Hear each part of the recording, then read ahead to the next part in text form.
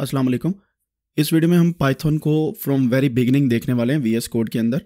और ये जो वीडियो होगी, इसके अंदर हम डिफरेंट चैप्टर्स बनाएँगे, ताकि आप हर एक चैप्टर को बेसिकली उर्दू ज़ुबान के अंदर या हिंदी के अंदर अच्छी देसी एग्जांपल्स के साथ सीख सकें। आपने सबसे पहले क्या करना है, जैसे हमने पिछली वीडियो में वी एस कोड को इंस्टॉल किया था विजुअल स्टूडियो कोड को, उसे आपने ओपन करना है, और उसके बाद आपने जो काम करना है, वो यहाँ से अब स्टार्ट होने वाला है। तैयार हैं आप सब लोग? तैयार नहीं है तो एक पानी का ग्लास पकड़ लें, क्योंकि ये वीडियो लंबी होने वाली है और इस लेक्चर के अंदर आपको बहुत कुछ सीखने को मिलेगा। और मैं गारंटी देता हूँ कि अगर आप ये सारी चीज़ें इजीली देख लेंगे तो यही वो फ़ंक्शंस या वही चीज़ें हैं जो हम आगे डेटा एनालिसिस के लिए यूज़ करने वाले हैं। चले स्टार्ट करते हैं। हम यहाँ पे क्या करते हैं? अभी यहाँ पे हमने एक न्यू फ़ाइल बनानी है, इसको मैं क्लोज करता हूँ। यहाँ पे हम एक न्यू फ़ाइल बनाते हैं, इसका नाम मैं देता हूँ zero one underscore first underscore program अब हम क्या करते हैं? जब हम ये चीज़ लिखते हैं, आप एक बात का ख्याल रखें कि आपने जब पाइथन स्टार्ट कर दिया तो कभी भी स्पेस नहीं देनी अपनी किसी भी फ़ाइल नेम में या किसी भी चीज़ में। उसकी वजह क्या हम लेटर ऑन डिस्कस करेंगे। जब हमने पाइथन की फ़ाइल बनानी तो डॉट पी वाई हमेशा लिखना है।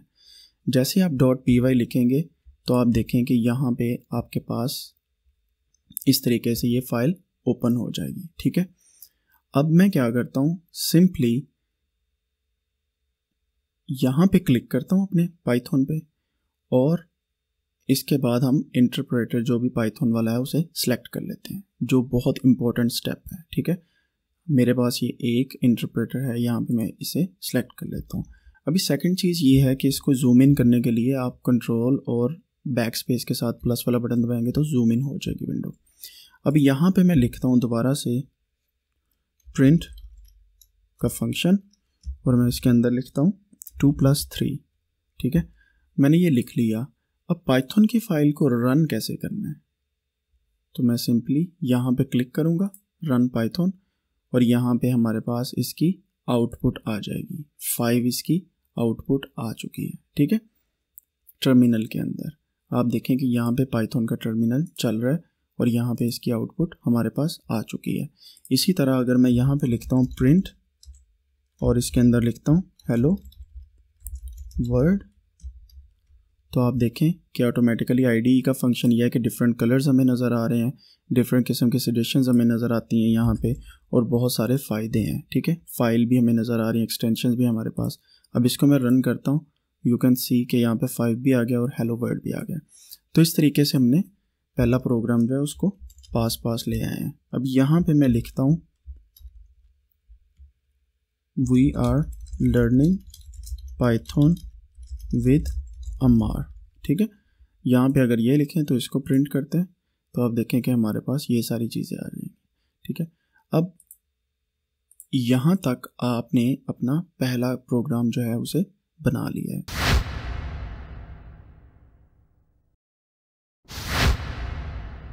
तो आपने जो अपना पहला प्रोग्राम है वो लिख लिया है।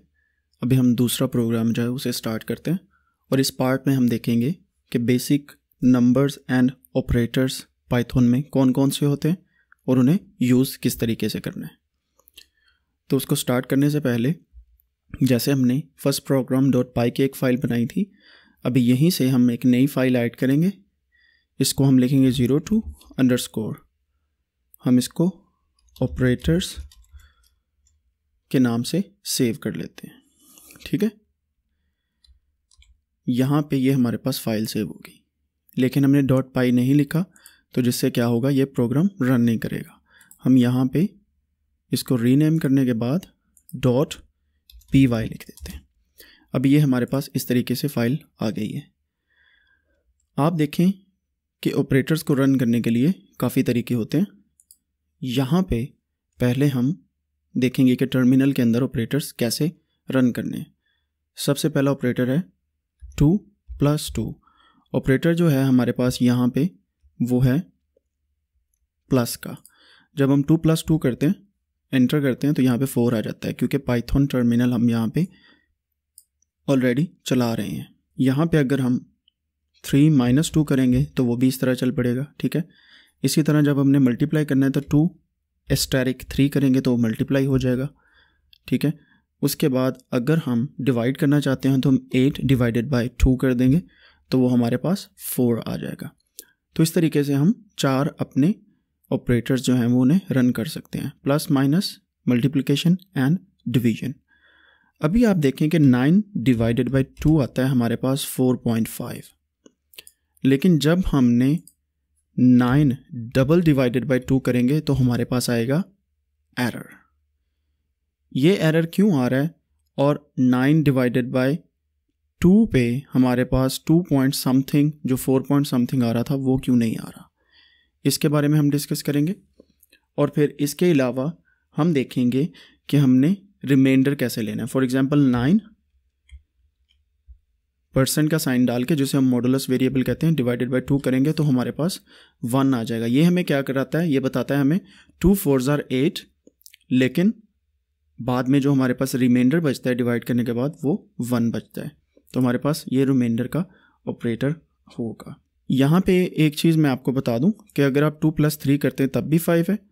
और अगर आप two space plus space three करते हैं लाइक दिस देन भी आपके पास फाइव आता है। या two space multiplied by three करते हैं, तब भी सिक्स आते हैं। तो इसका मतलब है कि स्पेसिस डालने से कोई इतना फ़र्क नहीं पड़ता। Two double space plus single space three भी करते हैं, तब भी वही चीज़ आती है। तो पाइथन में स्पेसिस से कोई इशू नहीं होता, जब तक आप नंबर ऑपरेटर्स जो हैं वो उसे यूज़ कर रहे हैं, ठीक है? तो अब हम देखते हैं कि हमने ऑपरेटर्स को यहाँ पे किस तरीके से यूज़ करना है। मैं सिंपली लिखता हूँ टू प्लस थ्री लिखने के बाद जब हम इसे रन करते हैं तो हमारे पास कुछ भी नहीं आ रहा यहाँ पे। क्यों? क्योंकि हमने यहाँ पे प्रिंट की कमांड नहीं लगाई, ठीक है? तो जब भी हमने कुछ भी प्रिंट करवाना है तो हमें प्रिंट की कमांड यहाँ पे यूज़ करनी पड़ेगी। तो प्रिंट टू प्लस थ्री किया रन करते हैं इसे then you can see here ये हमारे पास फाइव आ गया। तो ये हमारा ऑपरेटर हो गया टू प्लस थ्री प्लस का। जब हम माइनस करेंगे तो क्या करना है हमने? थ्री माइनस थ्री करेंगे। तो ये हमारे पास ऑपरेटर हो गया, या इसको थ्री माइनस टू कर देते हैं, या वन कर देते हैं। तो ये हमारे पास रन करने के बाद टू आ गया। तो माइनस का ऑपरेटर भी इस तरीके से चल सकता है। हमने यहाँ पे प्रिंट किया टू टू प्लस वन तो ये हमारे पास इस तरीके से आ गया। ठीक है? फिर हम यहाँ पे प्रिंट और फिर हम डिवाइड का करते हैं? सिक्स डिवाइडेड बाई टू ये हमारे पास आ जाएगा प्रिंट मैं सारे ऑपरेटर्स यहाँ पे लिख देता हूँ टू मल्टीप्लाइड बाई थ्री ये आ जाएगा हमारे पास. फिर मैं यहाँ पे करता हूँ print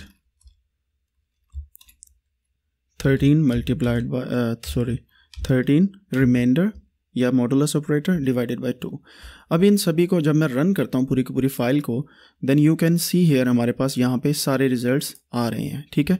अभी आप एक चीज़ पे गौर करें कि टू प्लस वन थ्री आ गया, थ्री माइनस वन टू आ गया। इसके बाद जब हमने डिवाइड किया तो हमारे पास फ्लोटिंग नंबर आ रहा है थ्री पॉइंट टू, ठीक है? और जब हम इसको डबल डिवाइड करते हैं तो क्या आता है? उसे देखते हैं। इसके बारे में हम डिस्कस करते हैं। बाकी देखें सिक्स एंड वन आ गया। अभी यहाँ पे मैं प्रिंट की कमांड लगा के अगेन यहाँ पे six double multiplied by two करता हूँ। तो आप देखें कि हमारे पास यहाँ पे अब फ्लोटिंग पॉइंट नहीं आ रहा। इसका मतलब है कि जब हम सिक्स डिवाइडेड बाई टू कर रहे हैं तो इसका मतलब है कि हमें पॉइंट्स में वैल्यूज़ देगा। और प्रोग्रामिंग लैंग्वेज में कभी आपको पॉइंट्स में वैल्यू चाहिए होगी और कभी आपको होल नंबर में वैल्यू चाहिए होगी। अगर आपने होल नंबर में वैल्यू लेनी है तो आप six double multi double divide करने के बाद टू कर देंगे। तो ये हमारे पास इस तरीके से ऑपरेटर आ जाएगा। अब अगर हमने पावर का फ़ंक्शन यूज़ करना है तो वो किस तरीके से करेंगे? मतलब मैं कहता हूँ, दो की पावर तीन। टू पावर के लिए हम डबल स्टैरिक का निशान लगाएँगे। ये यहाँ पे आप देखें डबल स्टैरिक का निशान लगाने के बाद थ्री करेंगे तो ये इसका आंसर आएगा हमारे पास, कुछ भी नहीं आ रहा। उसकी वजह क्या है? थ्री डबल पावर टू तब भी हमारे पास ये आ रहा है। अब हम सेम चीज़ को यहाँ पे करके देखते हैं प्रिंट ठीक है? यहाँ पे मैं लिखता हूँ two double multiplied by three. Let's see क्या आता है हमारे पास। तो आप देखें कि हमारे पास एट आ रहा है। इसका मतलब है कि हम पावर को ब्रैकेट में डालने के बाद यहाँ पे प्रिंट करवा के लिख सकते हैं और ये ऑपरेटर यहाँ पे काम करता है। टर्मिनल में क्यों नहीं कर रहा? ये मेरा आपसे क्वेश्चन है। आप नेट से सर्च करें और कमेंट सेक्शन में ज़रूर लिखिएगा। यहाँ तक अगर आपको समझ आ गई है दैट्स गुड तो आपको ये सारे कोड जो हैं, प्रैक्टिस भी करने पड़ेंगे साथ। आप अपनी वैल्यूज़ के साथ इसे प्रैक्टिस करें और जो जो आपका आंसर आया है, वो टाइम स्टैम्प के साथ, इस वीडियो की जो भी टाइम स्टैम्प आ रही है, उसके साथ आप कमेंट सेक्शन में पेस्ट करें, जिससे मुझे अंदाज़ा होगा कि आप लोग प्रैक्टिस कर रहे हैं। फिर हम इसमें देखते हैं कि अब हमने ये सारी जो है सीक्वेंस के साथ लिख दी है, ठीक है? अब अगर हम एक ही इक्वेशन बनाते हैं और उसमें सारी चीज़ लिखते हैं। फॉर एग्ज़ाम्पल मैं कहता हूँ प्रिंट करो। क्या प्रिंट करो? यहाँ पे two multiplied by three divided by three और plus six minus minus four ठीक है? और इसके अंदर हम पावर भी यूज़ कर लेते हैं। Three power two divided by इस तरीके से हम यूज़ कर लेते हैं। लेट्स सी इसका कोई आंसर आता है कि नहीं। तो हमारे पास सिक्स पॉइंट फाइव आ रहा है इसका आंसर ठीक है? सिक्स पॉइंट फाइव आ रहा है। अब इन सारे को मैं कमेंट्स में कन्वर्ट कर रहा हूँ। कमेंट्स क्या होते हैं? मैं भी इस, इसी वीडियो के फ़ौर अगले पार्ट में आपको बताता हूँ। फ़िलहाल के लिए आप इतना देखें कि जब हम हैश टैग लगा देंगे तो ये कोड इसमें रन नहीं होगा। सिंपली हमारा लास्ट वाला कोड रन होगा। आप देखेंगे पिछले कोड में ये सारा कुछ आ रहा था, लेकिन अब हमारे पास सिर्फ़ ये वाला आंसर आ रहा है, ठीक है? आप देखें कि यहाँ पे ये किस सीक्वेंस के साथ इसे रन कर रहे हैं। ठीक है? लेट्स सी हम वो ट्राई करते हैं। इसका मैं आपको बता दूँ कि ये P E M D A S ठीक है? इस सीक्वेंस से कोड को रन करता है पाइथन ठीक है? वो क्या है सीक्वेंस पहला है हमारा पैरेंथेसिस ठीक है? फिर हमारे पास आ जाता है एक्सपोनेंस फिर हमारे पास मल्टीप्लिकेशन या मल्टीप्लाई आ जाता है डिवाइड आ जाता है और फिर हमारे पास एडिशन एंड देन सब्सट्रैक्शन तो आप देखेंगे ये P E M D A S PEMDAS या आप अगर इसको आ, हिंदी में देखें तो प्रेमदास का आर निकाल दें तो ये पेमदास हो जाएगा ठीक है? पेमदास इस तरह आपको याद रखना इजी हो जाएगा। इसका मतलब ये है कि पैरेंथिस पहले करनी है, अगर किसी भी कोड में पैरेंथिस आ जाए, इसमें हमने नहीं लगाई, अगर आप पैरेंथिस यहाँ पे लगाएँगे तो सबसे पहले वो रिजॉल्व होंगी। मैं यहाँ पे पैरेंथिस लगाने के बाद टू मल्टीप्लाइड बाई थ्री करता हूँ तो सबसे पहले पैरेंथिस रिजॉल्व होंगी, फिर फर्दर कोड जो है हमारा वो रिजॉल्व होगा। ठीक है? तो ये इसको रन करके हमें पता चल जाएगा कि हमने किस तरीके से पैरेंथिस को यूटिलाइज़ करना है। तो ये हमारे पास यहाँ पे पेमदास के साथ हम parenthesis exponents multiplication division addition and subtraction अगर आपके पास मल्टीप्लिकेशन या डिवाइड पहले आता है तो लेफ़्ट लेफ़्ट टू राइट जो चीज़ पहले आएगी, वो पहले हल हो जाएगी। इसी तरीके से एडिशन या सब्सट्रैक्शन जो भी आपके पास आता है, वो लेफ़्ट साइड पे जो पहले होगा वो पहले रिजॉल्व होगा और उसके बाद राइट साइड पे होगा। फॉर एग्जांपल ये मल्टीप्लिकेशन से पहले डिवीज़न है तो पहले डिवीज़न रिजॉल्व होगी, फिर मल्टीप्लिकेशन होगी, फिर डिवीज़न होगी। ये इस तरीके से चलेगा, ठीक है? तो ये सीक्वेंस लेफ़्ट टू राइट होगी। लेफ़्ट टू राइट सीक्वेंस होगी for multiplication division addition and subtraction इनकी अलहदा और दूसरों की अलहदा इसके बारे में हम डिटेल में आने वाले चैप्टर्स में देखेंगे। तो यहाँ तक आपको क्लियर हो गया होगा कि हमने किस तरीके से नंबर ऑपरेटर्स को देखना है, ठीक है? ऑपरेटर्स के बाद जो अगली चीज़ हमारे पास आती है, वो हैं strings.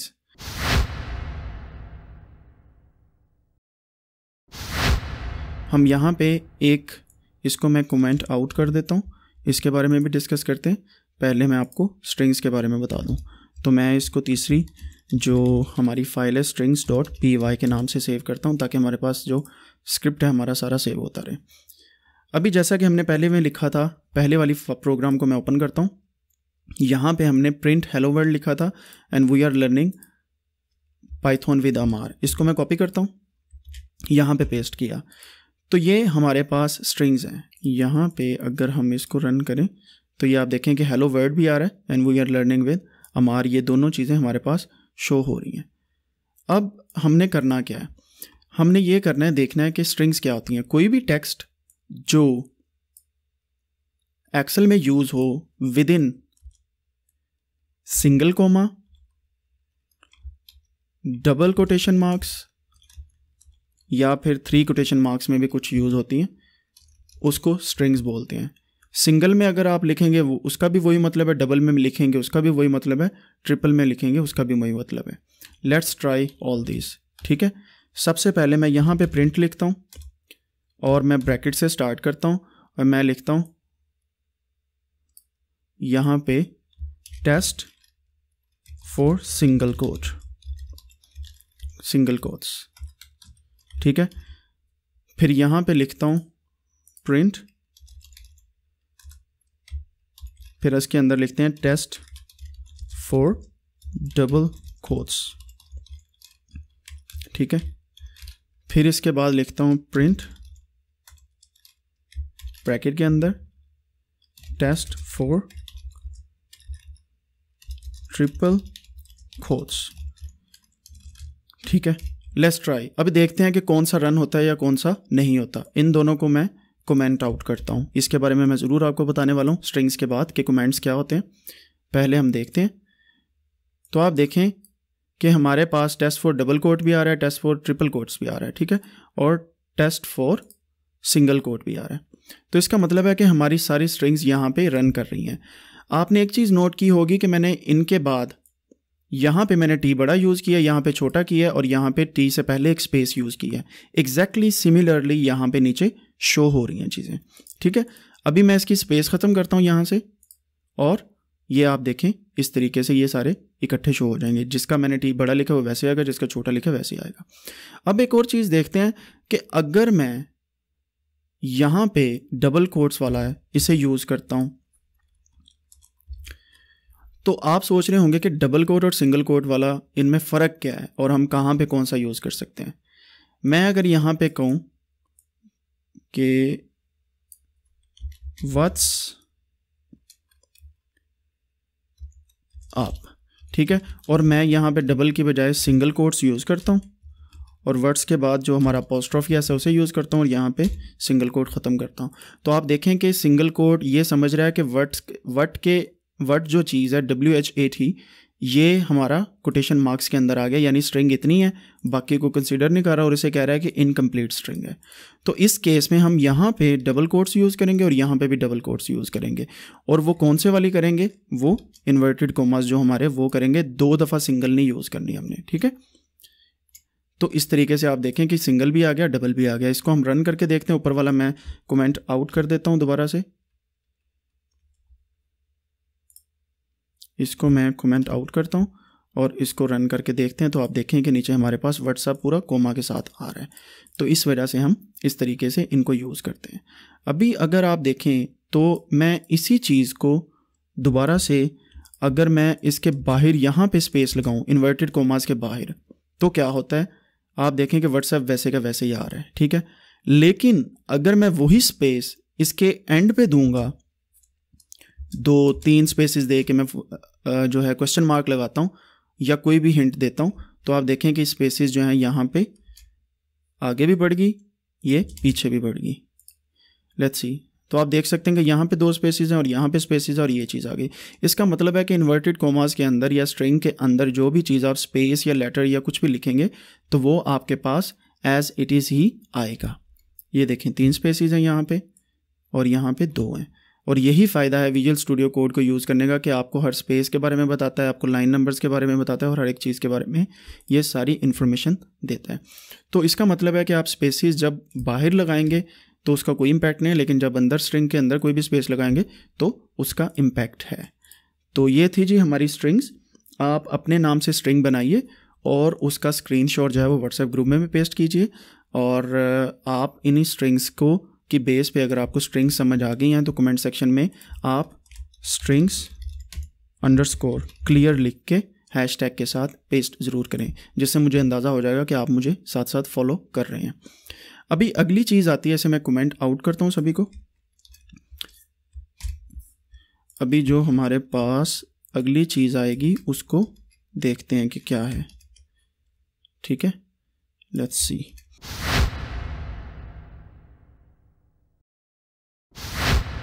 नेक्स्ट हमारे पास अगला जो चैप्टर है, वो है चैप्टर नंबर फोर जिसको हम कोमेंट्स कहते हैं, या कोमेंटिंग क्या होती है। सिंपल इज़ दैट कि कोई भी आप ऑपरेटर लिखें, जैसे मैंने पहले आपको बताया फॉर एग्ज़ाम्पल यहाँ से हम यहाँ पे लिखते हैं प्रिंट हाउ आर यू ठीक है? इसके इर्द गिर्द हमने डबल कोर्स लगा दी। अभी आपको क्या लगता है कि ये सारी चीज़ जो हमने लिखी है यहाँ पे ये ठीक है? और क्या एरर आ रही है? मैं फिर रिपीट करता चलूँ कि हमारे पास नया यहाँ पे कुछ आ रहा है इसकी वजह क्या है? जी क्या वजह हो सकती है? एग्जैक्टली exactly, यही वजह है कि हमने यहाँ पे डॉट पाई नहीं लिखा। डॉट पी वाई लिखेंगे देन यू विल सी कि यहाँ पे कलर चेंज हो गया। इसको पता चल गया कि पाइथन पीछे इंटरप्रेटर हम चला रहे हैं। और अगर आप लोगों का इंटरप्रेटर नहीं चल रहा तो कंट्रोल शिफ्ट पी दबाएँ। यहाँ पे लिखें सेलेक्ट इंटरप्रेटर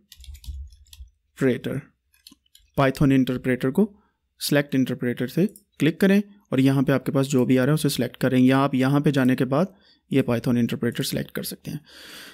तो यहाँ पे प्रिंट हाउ आर यू जब हम लिखते हैं तो इसको हम रन करते हैं, ठीक है? नीचे हाउ आर यू आ गया। अब हम यहाँ पे लिखते हैं print we are learning Python with Amar ठीक है? हम ये लिखते हैं, ठीक है? ये भी यहाँ पे दोनों लाइनें प्रिंट होगी। अब मैं यहाँ पे कहता हूँ प्रिंट करो टू प्लस सिक्स ठीक है? तो ये देखें कि आपके पास टू प्लस सिक्स भी एट आ गया, यहाँ पे ये तीन लाइनें आ गई। लेकिन मसला ये है कि हम ये चाहते हैं कि ये दूसरी लाइन यहाँ पे प्रिंट ना हो या पहली लाइन प्रिंट ना हो। तो हम क्या करते हैं? इस, इतनी लाइन को सिलेक्ट करते हैं, या तो इसके पीछे हम हैश टैग लगा देते हैं तो वो कमेंट आउट हो जाएगी। उसका कलर भी चेंज हो जाएगा। इसका मतलब यहाँ पे लिखी रहेगी, लेकिन ये यहाँ पे कोड के अंदर रन नहीं करेगी। लुक यहाँ पे सिर्फ़ दो लाइंस ऑफ़ कोड हमारे पास रन कर रही हैं number two and number three जो पहली लाइन ऑफ़ कोड थी, वो रन नहीं कर रही थी, जैसे यहाँ पे किया हुआ है यू की तरह। तो इस तरह आप कमेंट आउट कर सकते हैं किसी भी चीज़ को। दूसरा तरीका इसको कमेंट आउट करने का किसी भी लाइन का ये है, एक तो हैशटैग लगा सकते हैं। सेकेंडली आप टेक्स्ट को सिलेक्ट करें, ठीक है? यहाँ पे क्लिक करने के बाद, यहाँ पे क्लिक करें शिफ्ट दबा के या कुछ भी सिलेक्ट करने के बाद। कंट्रोल और शिफ्ट के साथ आपके फॉरवर्ड स्लैश होगी, उसको दबा दें। लेफ़्ट कंट्रोल एंड शिफ्ट के साथ फॉरवर्ड स्लैश है। उसको आप दबाएँगे तो आपके पास ये इस तरीके से कमेंट आउट हो जाएगा, ठीक है? मैं फिर बता देता हूँ C T R L plus ये वाला। ये दोनों दबाएँगे। कमेंट आउट इसे बोलते हैं। कमेंट आउट कर देंगे ताकि ये इसके अंदर यूज़ ना हो, ठीक है? तो ये दो चीज़ें दबाने से होता है। अब मैं यहाँ से हैश टैग रिमूव करूँगा तो सिंपली आ जाएगा। अदरवाइज़ मैं क्या करूँगा? ये पूरे सेलेक्ट को, इसको सेलेक्ट करूँगा कंट्रोल एंड अगेन वही दबाऊँगा। तो हमारे पास ये कमेंट इन हो जाएगा। अब मैं चाहता हूँ कमेंट्स कहाँ पे यूज़ होते हैं, वो ऐसे यूज़ होते हैं कि इतने सेलेक्ट इसको सेलेक्ट करें और इसके पीछे आप हैश टैग लगा दें सॉरी हैश टैग लगा दें और ये वाले हैश टैग को रिमूव कर दें। तो हर लाइन का हमें मकसद पता चल जाएगा कि इस लाइन का मकसद क्या है, ठीक है? अभी इस लाइन का मकसद है press this to comment out ये मैं बता रहा हूँ, ठीक है? फिर यहाँ पे अगला मकसद है कि प्रिंट ए स्ट्रिंग ठीक है? और फिर इस लाइन का मकसद है print operators function with numbers ठीक है? तो आप देखें कि बेसिक मैथमेटिक्स को आप इस तरीके से प्रिंट कर सकते हैं स्ट्रिंग को इस तरीके से कर सकते हैं, ये सारी चीज़ें मैंने लगा दी। अब मैं पूरी फ़ाइल को रन करता हूँ देन यू विल सी के how are you we are learning Python with Amar and eight ये आ रहा है, लेकिन कमेंट्स नहीं आ रहे। तो कमेंट्स बड़े यूज़फुल होते हैं। आपको बड़े तरीक़ों से इन्हें यूज़ करना आना चाहिए, और जब आप ये यूज़ करते हैं तो आप कभी भी अपना कोड निकाल के देखेंगे तो आपको समझ आ जाएगी कि कमेंट्स आपने कहाँ कहाँ पर किए हैं। ठीक है? तो अप टू डाउन ये चलता है। और कमेंट्स किस तरीके से आपने आगे फर्दर यूज़ करने हैं, हम बारी बारी इसको देखते रहेंगे। नेक्स्ट हम चलते हैं जी वेरिएबल्स की तरफ़, जो बहुत इम्पोर्टेंट चैप्टर है हमारा। वेरिएबल्स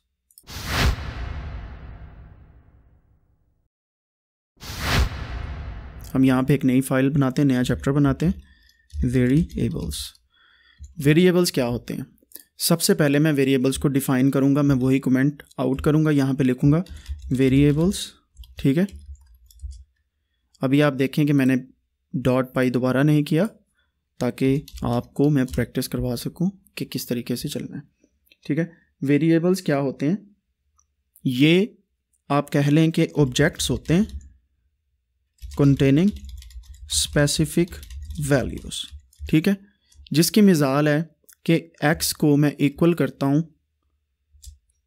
ठीक है थ्री प्लस टू के, या एक्स को मैं इक्वल करता हूँ फाइव के, ये मेरे पास एक वेरिएबल बन गया, ठीक है।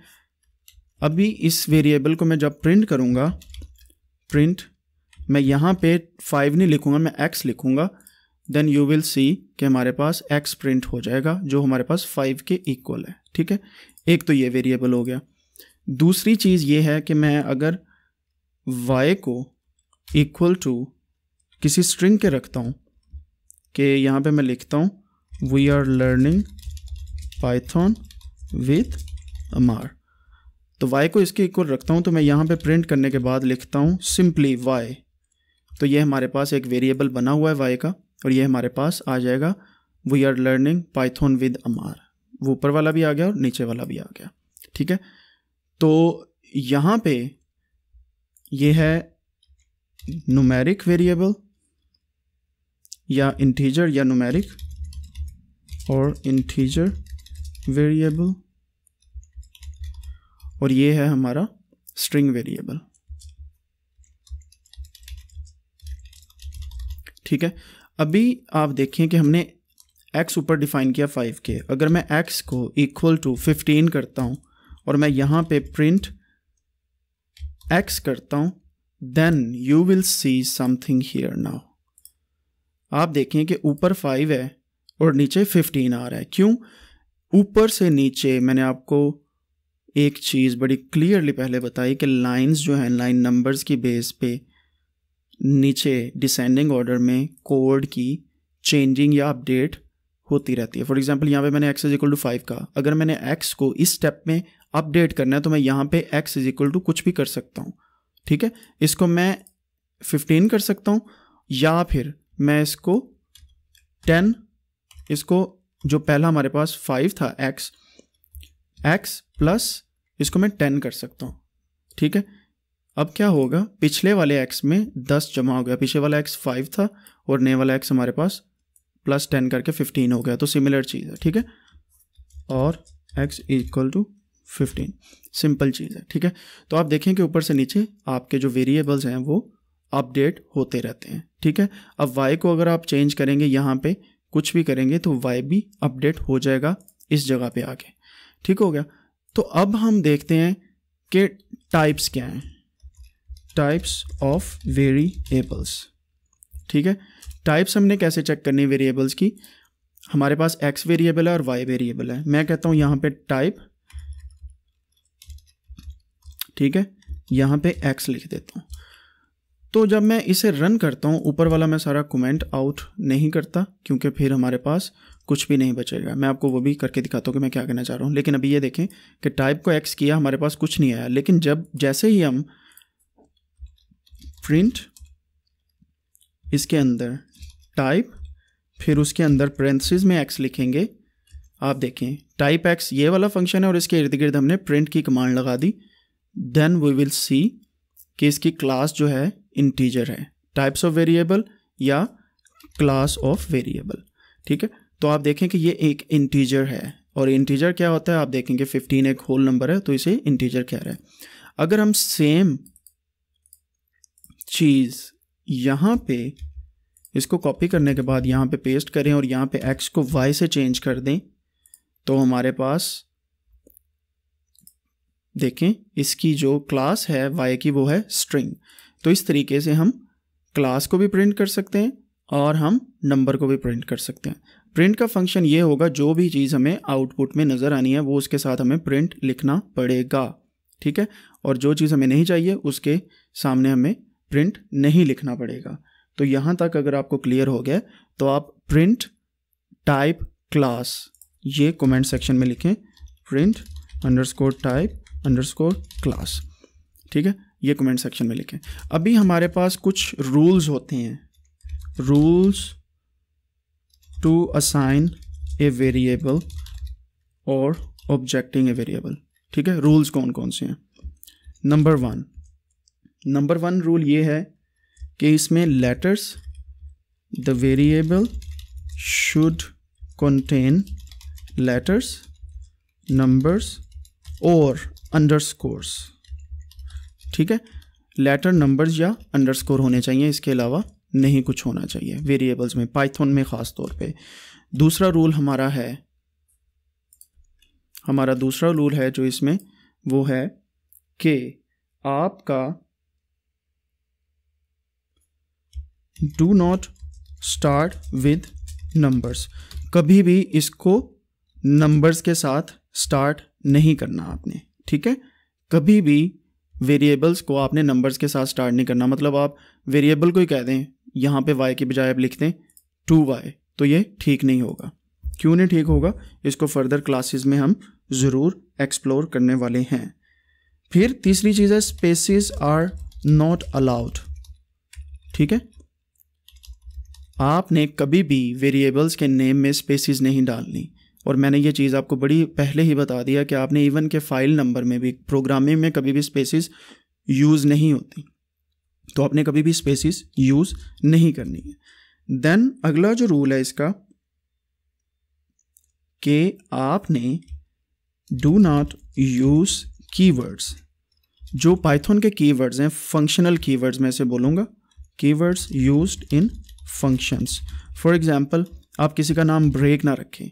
फॉर एग्ज़ाम्पल किसी का नाम मीन ना रखें मीडियन ना रखें टेस्ट ना रखें, ठीक है? ये नाम आप नहीं रखने चाहिए आपको। इसकी लिस्ट आप गूगल पे लिखेंगे ना कि की वर्ड्स यूज़ इन है तो वो आपको बता देगा। तो इस तरीके से आपने ये नाम नहीं रखने, ठीक है? पांचवा रूल है कि शॉर्ट होना चाहिए variable name short and descriptive होना चाहिए, कि आपको कोड लिखते हुए समझ आए। क्योंकि जब पाइथन की लैंग्वेज बनाई गई थी इसको इसलिए इतना इजी बनाया गया और इसीलिए पाइथन की पेस जो है सीखने की वो स्टीप नहीं है। मतलब आप इजीली सीख सकते हैं, क्योंकि ये इंग्लिश से बहुत ज़्यादा रिजेंबल करती है। तो आपको शॉर्ट एंड डिस्क्रिप्टिव डिस्क्रिप्टिव जो है वेरिएबल नेम देने चाहिए, ठीक है? तो एक जो लास्ट रूल है हमारे पास, छठा रूल है दैट्स कॉल्ड केस सेंसटिविटी मतलब ये कि लोअर केस लेटर्स और अपर केस लेटर्स इनका बड़ा ख्याल रखना पड़ता है, ठीक है? और मैं आपको सजेस्ट करूँगा कि आप हमेशा लोअर केस लेटर यूज़ करें।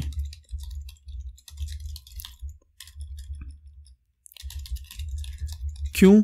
क्योंकि लोअर केस लेटर्स में कभी भी आपको ना शिफ्ट दबाने की ज़रूरत पड़ती है, ना कैप्स लॉक्स ऑन करने की ज़रूरत पड़ती है तो आप इस तरीके से अपने वेरिएबल्स बना सकते हैं।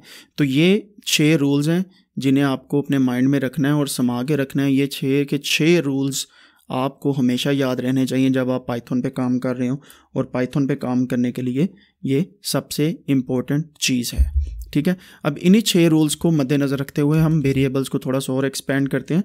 एक एग्ज़ाम्पल मैं देता हूँ आपको वेरिएबल्स की कि हमारे पास एक फ्रूट की बास्केट है। ठीक है? फ्रूट बास्केट सही हो गया। हम इस फ्रूट की बास्केट में क्या डालना चाहते हैं? ठीक है? मैं कहता हूँ इसमें डाल दें मैंगोस ठीक है?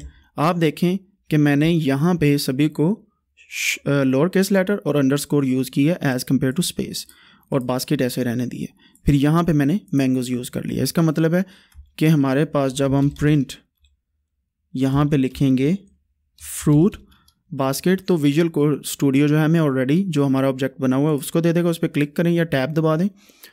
देन जब हम इसे प्रिंट करते हैं तो यू कैन सी कि यहाँ पे फ्रूट बास्केट की जगह हमारे पास मैंगोज आ गए इसका मतलब है कि फ्रूट बास्केट के अंदर हमने जो लिखा है, वो यहाँ पे प्रिंट हो जाएगा। सेम वही जो हमने एक्स में लिखा था। ठीक हो गया। अगर मैं यहाँ पे कोमा लगा के इसके अंदर लिखता हूँ oranges then see what happens तो आप देखें कि यहाँ पे हमारे पास फ्रूट बास्केट के अंदर मैंगोज एंड ऑरेंजेस दोनों आ गए हैं। ठीक है? लेकिन उनकी तरतीब चेंज हो गई है। अगर मैं यहाँ पे इसको ऐसे कोमा लगा के लिखता हूँ देन यू विल सी के मैंगोज ऑरेंजेस इसका मतलब है ये एक ही स्ट्रिंग है, लेकिन इसके साथ ये इस तरीके से प्रेजेंटेबल हो रहे हैं। ठीक है? वेरिएबल्स के लिए मैं आपको बता रहा हूँ। तो जब आप फ्रूट बास्केट को एट से रिप्लेस करेंगे और स्ट्रिंग का निशान मिटा देंगे तो आपके पास फ्रूट बास्केट एट की आ जाएगी। ठीक है? कितने फल हैं? या कितने फ्रूट्स हैं आपके फ्रूट की बास्केट में, वो एट हैं। तो यहाँ पे नंबर शो हो जाएगा। अगर आप फ्रूट बास्केट की टाइप देखना चाहें तो यहाँ पे टाइप लिखेंगे। और ये आप देखें, यहाँ पे अभी हमारे पास इंटीजर क्लास आ जाएगी इसकी, ठीक है? लेकिन हमने प्रिंट नहीं किया फ्रूट बास्केट को, उसके लिए हम अलहदा लिख देते हैं फ्रूट बास्केट तो ये हमारे पास एक रियल लाइफ एग्जांपल आ गई कि फ्रूट बास्केट में जो भी लिखेंगे उसकी टाइप और इस तरीके से हमारे पास उस वेरिएबल की क्लास भी आ जाएगी। ठीक है? और अगर आप ये देखें कि मैंने यहाँ पे फ्रूट बास्केट को एट डिफ़ाइन किया है, लेकिन मैं यहाँ पे लिखता हूँ fruit basket is equal to fifteen तो हमारे पास क्या चीज़ यहाँ पे प्रिंट होती है और क्लास क्या आती है? लेट्स सी तो हमारे पास जो फिफ्टीन है, वो प्रिंट हुआ है और जो हमारे पास क्लास आई है, वो इसकी स्ट्रिंग और इंटीजर ये दो क्लासेस आई हैं, ठीक है? अभी स्ट्रिंग किसकी क्लास आई और इंटीजर किसकी आई है, आपको ये यहाँ से मैं इतना कमेंट आउट करता हूँ, ठीक है? और जब हम दोबारा से इसे रन करते हैं then you can see exactly ये इंटीजर क्लास है इसकी फ्रूट बास्केट की, और इसमें प्रिंट करके हमने फिफ्टीन ले आया है। लेकिन अगर मैं यहाँ पे मैंगोज़ दोबारा लिखता हूँ तो आप देखें कि पहले एट थी क्लास ठीक है? लेकिन जब मैंने मैंगोज़ लिखा तो वो अपडेट होके मैंगोज़ हो गई एट से। अगर मैं मैंगोज़ को कमेंट आउट कर दूँ यहाँ से, यानी कोड में रन ना करूँ देन हमारे पास क्लास जो है वो एट है। लेकिन जैसे ही मैं इसको कमेंट इन करता हूँ कमेंट इन करने के बाद हमारे पास मैंगोज़ यहाँ पे आ जाते हैं। तो इसका मतलब है कि जैसे जैसे आप नीचे को जाते जाएँगे, अगर उसी ऑब्जेक्ट में कोई चेंजेस करते हैं तो वो यहाँ पे अपडेट होती जाएँगी, ठीक है?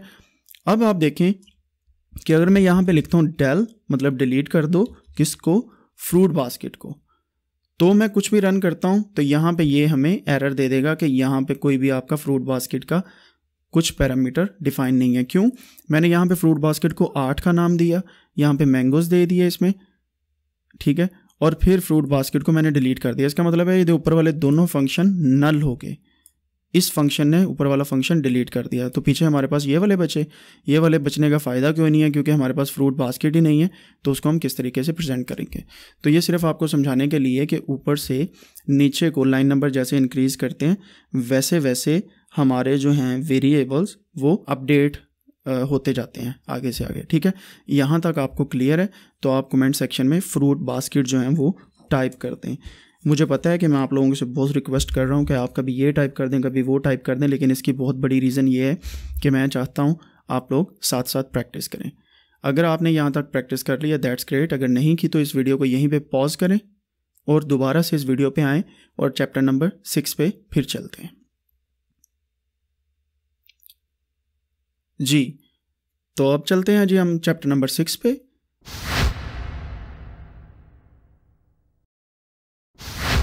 अगेन यहाँ पे हम न्यू चैप्टर यहाँ पे बनाएँगे ज़ीरो सिक्स का नाम देता हूँ मैं उसे। यहाँ पे हम लिखते हैं input underscore variables input variables क्या होते हैं? मैंने अगेन यहाँ पे डॉट पाई नहीं लिखा, आपको मैं दोबारा बार बार याद करा दूँ। डॉट पी वाई ज़रूर लिखना है। उसके बाद हमारी पाइथन की फ़ाइल जो है वो बनेगी। इनपुट वेरिएबल्स क्या होते हैं? और इनको हमने कैसे देखना है? ठीक है? मैं यहाँ पे फ्रूट बास्केट दोबारा यूज़ करता हूँ। ठीक है? फ्रूट बास्केट यूज़ करने के बाद इज़ इक्वल टू लगाया डिफ़ाइन किया मैंने एक वेरिएबल को, और इस वेरिएबल को डिफ़ाइन करने के बाद मैं यहाँ पे सिंपली क्या करता हूँ? कि यहाँ पे मैंने लिखा मैंगोस ठीक है? और फिर मैंने किया इसको प्रिंट फ्रूट बास्केट को। तो आप देखें जब मैं इसको रन करता हूँ, वो सिंपली मैंगोज यहाँ पे प्रिंट कर देते हैं। लेकिन what if we ask our consumer या जो भी सॉफ्टवेयर को यूज़ कर रहा है या जो प्रोग्राम को यूज़ कर रहा है कि आपको कौन सा फ्रूट पसंद है? ठीक है? तो हम क्या कर सकते हैं? ठीक हो गया? तो हम यहाँ पे इनपुट फ़ंक्शन को इनपुट फ़ंक्शन को यूज़ करेंगे। कैसे? मैं यहाँ पे लिखता हूँ fruit basket is equal to ठीक है? यहाँ पे मैं इनपुट फ़ंक्शन लगाता हूँ। लगाने के बाद ब्रैकेट में, स्ट्रिंग में मैं क्वेश्चन पूछता हूँ कि which is your favourite fruit ठीक है? ये पूछा मैंने। और फिर मैंने फिर बाद में यहाँ पे प्रिंट कर दिया फ्रूट बास्केट ठीक है? इसका मकसद ये है कि यहाँ पे हम एक प्रोग्राम बना रहे हैं कि एक दुकानदार है वो पूछ रहा है कि कौन सा आपका फेवरेट फ्रूट है। ठीक है, वो पूछने के बाद वो फ्रूट की बास्केट में उसे डालता जाता है। आप यही समझ लें कि हमने यहाँ पे पूछना है कि व्हाट इज़ योर या which is your favourite fruit या इसमें वट भी कर सकते हैं एज़ यू वॉन्ट क्योंकि हम उर्दू और हिंदी में देख रहे हैं इसको तो आपका जैसे दिल करे आप इस तरीके से कर सकते हैं। तो मैं इनको कमेंट आउट कर रहा हूँ अभी, और यहाँ पे इसको रन करता हूँ। Then you see here what is your favourite fruit के बाद यहाँ पे प्रोग्राम आपका रुक गया है और वो आपसे पूछ रहा है। ठीक है? तो हम यहाँ पे लिख देते हैं मैंगोस ठीक है? जैसे मैंने मैंगोस को लिखने के बाद इंटर किया, यहाँ पे मैंगोस प्रिंट हो गया। ठीक है? अब इसको थोड़ा सा और हम इंटरेस्टिंग बनाते हैं। कैसे? What is your favourite fruit के फ़ौर बाद आप देखें कि यहाँ पे बगैर स्पेस के ये स्टार्ट हो जाता है। ठीक है? तो अगर हम यहाँ पे इसे स्पेस दें तो आप देखें कि स्पेस के बाद यहाँ पे आ रहा है what is your favourite fruit मैं यहाँ पे अब लिखता हूँ मैंगोज मैंगो लिख देता हूँ सिंपल तो आप देखें कि यहाँ पे मैंगो प्रिंट हो जाता है। एप्पल लिख दें तो वो प्रिंट हो जाएगा, ठीक है? यहाँ पे लिखता हूँ एप्पल तो यहाँ पे एप्पल प्रिंट हो जाएगा।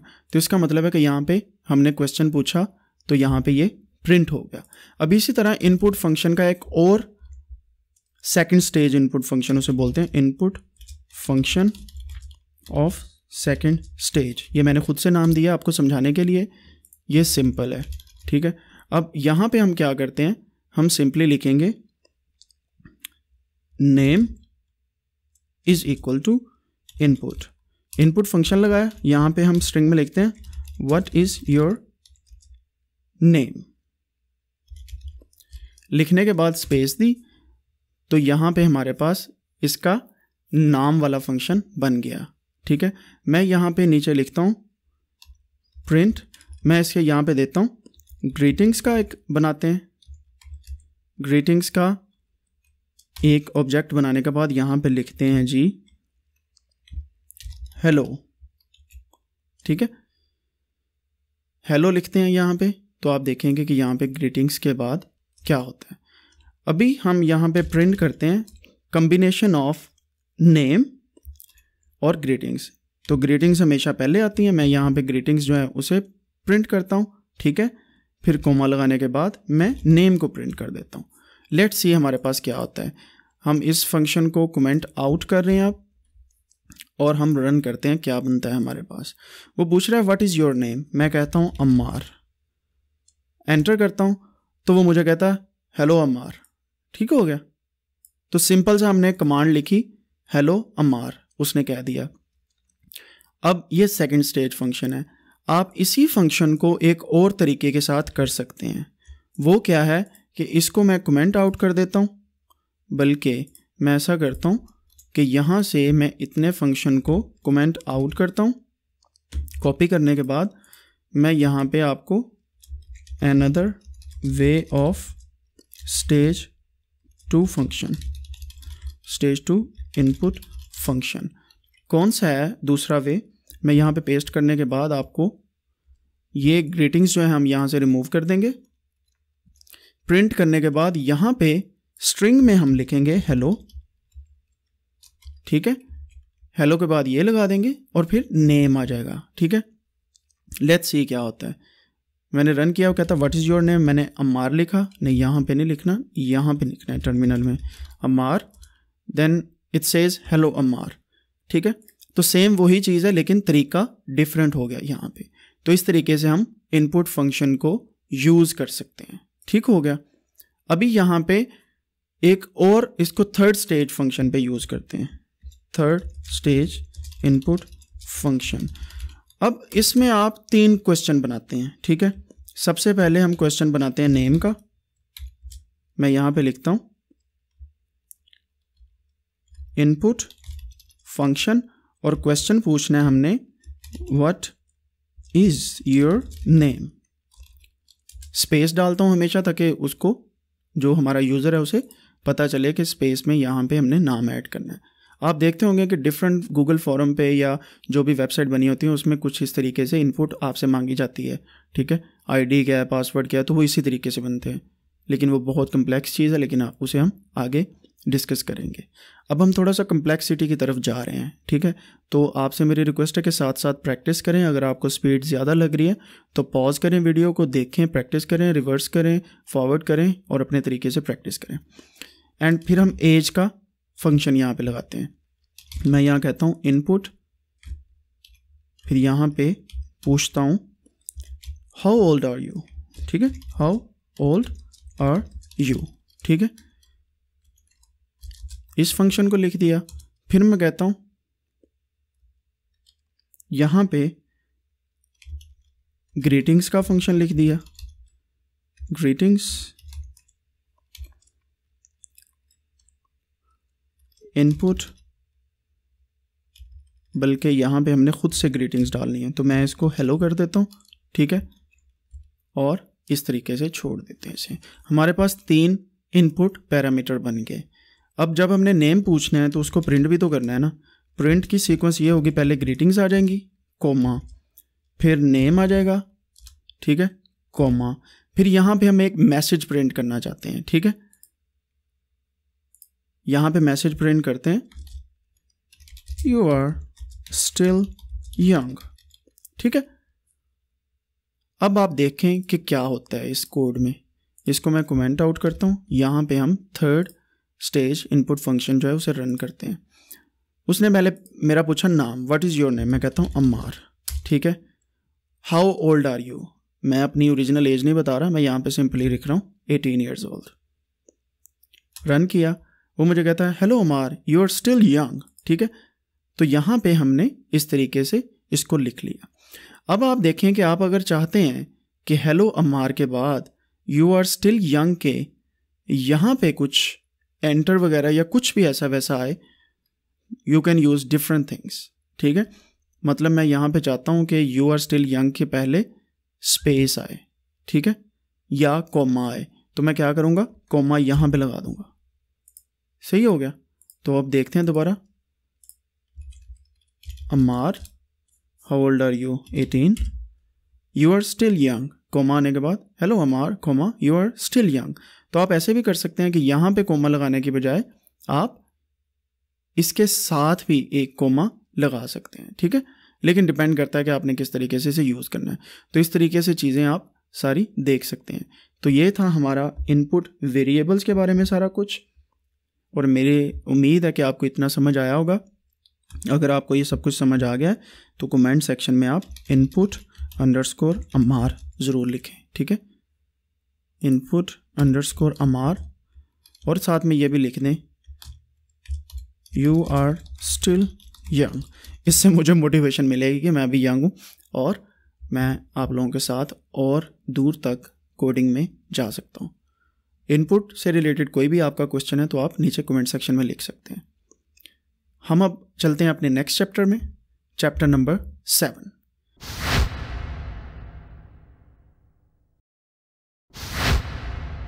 chapter number seven जो है हमारा, वो रिलेटेड है कंडीशनल लॉजिकल ऑपरेटर्स के। ठीक है? लॉजिकल कंडीशनल या कंडीशनल ऑपरेटर्स के। कंडीशनल लॉजिक कंडीशनल लॉजिक्स मैं कह देता हूँ इसे। सेवन नंबर पे इसको मैंने डॉट पाई करना है। दोबारा से इसे डॉट पाई करते हैं। अब इस पे चलते हैं कि ये क्या चीज़ है। कंडीशनल लॉजिक्स पे जाने का क्या मकसद है। लेट्स सी ठीक है? इसमें हम कुछ ऑपरेटर्स यूज़ करते हैं। इक्वल टू का ऑपरेटर है डबल इक्वल फिर अगला ऑपरेटर है लेस देन उसको हम शो करते हैं इस तरीके से। फिर आ जाता है ग्रेटर देन उसको हम शो करते हैं इस तरीके से। ठीक है?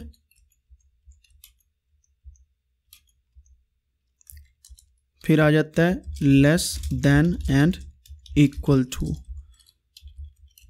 इसको मैं थोड़ा सा एक लाइन में कर लूँ साथ साथ टैब्स दबा रहा हूँ मैं तो ये लाइन में आ रहे हैं।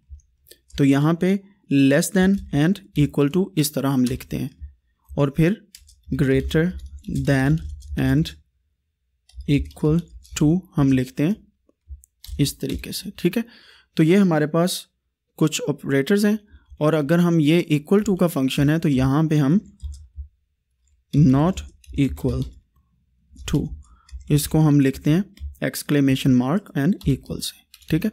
तो ये लॉजिकल ऑपरेटर है लॉजिकल ऑपरेटर या ट्रू होते हैं या फॉल्स होते हैं, ठीक है?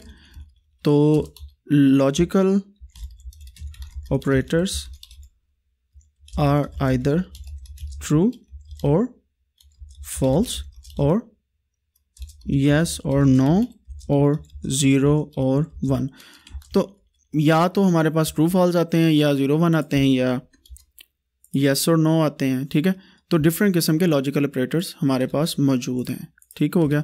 यहाँ तक आपको पता होना चाहिए और मैं उम्मीद करता हूँ कि आपको बेसिक मैथमेटिक्स आती है यहाँ पे और ये ऑपरेटर्स का पता ये बहुत सिंपल सी चीज़ें हैं। ठीक है? अब हमने यूज़ कैसे करना है? सिंपली ये है कि मैं आपको सिंपल सी बात पूछता हूँ कि is four equal to four ये मेरा क्वेश्चन है। ये आपने मुझे तो पूछ लिया, मैं कह दूँगा हाँ चार चार के इक्वल है, लेकिन हम पाइथन को कैसे पूछेंगे? पाइथन को पूछने के लिए हमें लिखना पड़ेगा प्रिंट इसके अंदर लिखना पड़ेगा four double equal to four और जब हम इसे रन करेंगे तो ये हमें बताएगा यस ट्रू चार चार के इक्वल है, ठीक है? अगर मैं कहता कि चार इज़ इक्वल टू चार तो इसका मकसद कुछ और था। जब मैं इसे रन करता हूँ, ये हमें सिंटैक्स एरर देता है, ठीक है? इक्वल टू हम यूज़ करेंगे डबल इक्वल टू जब यूज़ करते हैं, इसका मतलब है कि फोर इज़ इक्वल टू आप ये समझ लें, ये इज़ है, ये इक्वल टू है, ठीक है? फोर के। तो अगर मैं कहूँ कि four is not equal to four मैं गलत कह रहा हूँ, हमें तो पता है, लेकिन पाइथन हमें कैसे बताएगा? फॉल्स कह के, ठीक है? ट्रू या फॉल्स सही हो गया। तो आपको ये दो ऑपरेटर समझ आ गए होंगे। प्रिंट यहाँ पे मैं लिखता हूँ four is not equal to four तो ये हमें फॉल्स कह देगा। अब अगर हम तीसरी चीज़ चेक करते हैं, वो है कि four is greater than three ठीक है? इसको जब हम रन करते हैं, आप देखें कि तीसरी हमारे पास जो चीज़ है, ये पहला ट्रू है, दूसरा फॉल्स है, तीसरा हमारे पास ट्रू आ रहा है कि चार तीन से बड़ा है। ठीक है? फिर हम लॉजिकल ऑपरेटर जो यूज़ करते हैं, वो यूज़ करते हैं। कि तीन is less than six three is less than six तो ये भी हमें कहेगा ट्रू है। अगर मैं यहाँ पे कहूँ three is greater than six तो आप देखें ये हमें फॉल्स कह देगा। तो इस तरीके से ट्रू फॉल्स यहाँ पे चलता रहेगा। मैं कहता हूँ print three is less than equal to five ठीक है? तो आप देखेंगे हमें कहता है ट्रू इक्वल टू को फर्दर समझने के लिए less than equal to further समझने के लिए हम लेटर ऑन एडवांस स्टेजेस पे देखेंगे इसका मकसद क्या है। ठीक है? ग्रेटर देन इक्वल टू के लिए भी हम यही यूज़ करेंगे। Five is greater than equal to four तो ये हमें ट्रू देगा। ठीक है? क्योंकि हम इज़ इक्वल टू नहीं कह रहे और यहाँ पे हम ग्रेटर दैन इक्वल टू कह रहे हैं। अभी मैथमेटिक्स की ज़ुबान में ये कुछ और है, लेकिन लॉजिकल ऑपरेटर्स की ज़ुबान में थोड़ा सा डिफ़र करता है। इनका यूटिलाइजेशन जो है, हम लेटर स्टेजेस पे देखेंगे। मैं आपको जो है, ज़्यादा चीज़ों के साथ अभी क्या उसे कहते हैं फुल नहीं करना चाहता आपके माइंड को तो इसको माइंड में रखें कि हम लेटर ऑन स्टेजेस पे इसे ज़रूर देखेंगे। अभी के लिए आपको मैं सिर्फ़ इतना बता दूँ कि लॉजिकल ऑपरेटर्स इस तरीके से यूज़ होते हैं। अभी लॉजिकल ऑपरेटर्स की ऑपरेटर्स की एप्लीकेशन कहाँ पे है?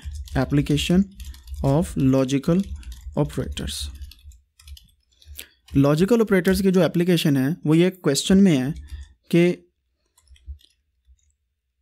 एक क्वेश्चन है कि मेरा जो छोटा भाई है, वो स्कूल में जाना चाहता है। ठीक है? और उसकी एज जो है, वो चार साल है। लेकिन स्कूल वाले कहते हैं कि जब तक ये पाँच साल का ना हो जाए, तब तक स्कूल नहीं आ सकता। तो इस फॉर्मूले को हम किस तरीके से यूटिलाइज करेंगे? पाइथन से कैसे पूछेंगे कि क्या वो स्कूल जा सकता है या नहीं? तो मैं यहाँ पे लिखता हूँ Hamad underscore age is equal to मैं यहाँ पे लिख देता हूँ four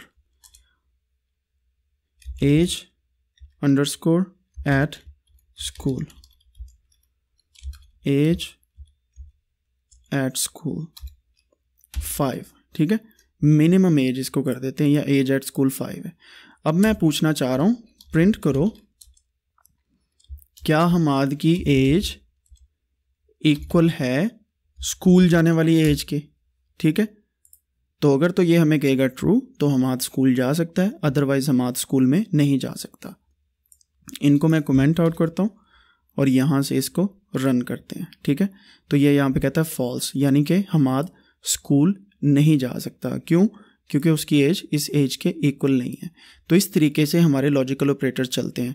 अक्सर आपने देखा होगा कि जब आप कोई भी नेटफ्लिक्स पे मूवी देखते हैं या अमेज़ोन प्राइम पे या कहीं पे भी मूवी देखते हैं तो वहाँ पे एज रिस्ट्रिक्शन लिखी होती हैं कि are you twelve years old are you sixteen years old या are you eighteen years old तो वो इन्हीं पैरामीटर्स के बेस पे सारी लिखी होती हैं। तो ये स्ट्रिंग्स वहाँ पे भी काम आती हैं, ये इनपुट फ़ंक्शन ये लॉजिकल ऑपरेटर्स जो हैं, ये वहाँ पे भी काम आते हैं। तो ये इस एग्ज़ाम्पल से आपको क्लियर हो गया होगा कि हमने किस तरीके से कंडीशनल ऑपरेटर्स को यूज़ करना है। इसकी एक और एग्जांपल मैं देता हूँ कि हमाद की एज फोर बताने की बजाय मैं यहाँ से ये इतना सारा कॉपी करता हूँ और इसको एक और तरीके से लिखते हैं आप। कैसे लिखते हैं? इनपुट ऑपरेटर एंड लॉजिकल्स दोनों को यूज़ करते हुए। मैं यहाँ पे इसके एज एट स्कूल फाइव है, ठीक है? अब मैं पूछता हूँ वट यहाँ पे हमाद की एज पूछता हूँ, और मैं यहाँ पे इनपुट पैरामीटर डालता हूँ, और जो चीज़ हमने पहले ख़ुद से डिफ़ाइन की थी वो यूज़र से पूछते हैं कि एज कितनी है, जिसने स्कूल जाना है। How old is Hamad? ठीक है? हाउ ओल्ड इज़ हमाद ठीक है? इनपुट लिखने के बाद Hamad age is equal to उसको मैंने प्रिंट करके लॉजिकल ऑपरेटर यूज़ कर लिया। यहाँ पे हमने इनपुट फ़ंक्शन यूज़ किया और यहाँ पे ये इनपुट ऑपरेटर नहीं है इनपुट फ़ंक्शन है। और लॉजिकल ऑपरेटर है। हमने यहाँ पे इनपुट फ़ंक्शन यूज़ किया और यहाँ पे लॉजिकल ऑपरेटर यूज़ किया। अब हम इस फार्मूला को रन करते हैं। ये छोटा सा स्क्रिप्ट है, तीन लाइनों का। एज जो है फाइव है, वो ऑलरेडी आ गया। हाउ ओल्ड इज़ हमाद अगर मैं यहाँ पे पाँच लिखूँ और एंटर करूँ तो वो कह देगा फॉल्स क्यों? वजह क्या है? उसकी वजह यह है कि हाउ ओल्ड इज़ हमाद मैंने बताया पाँच।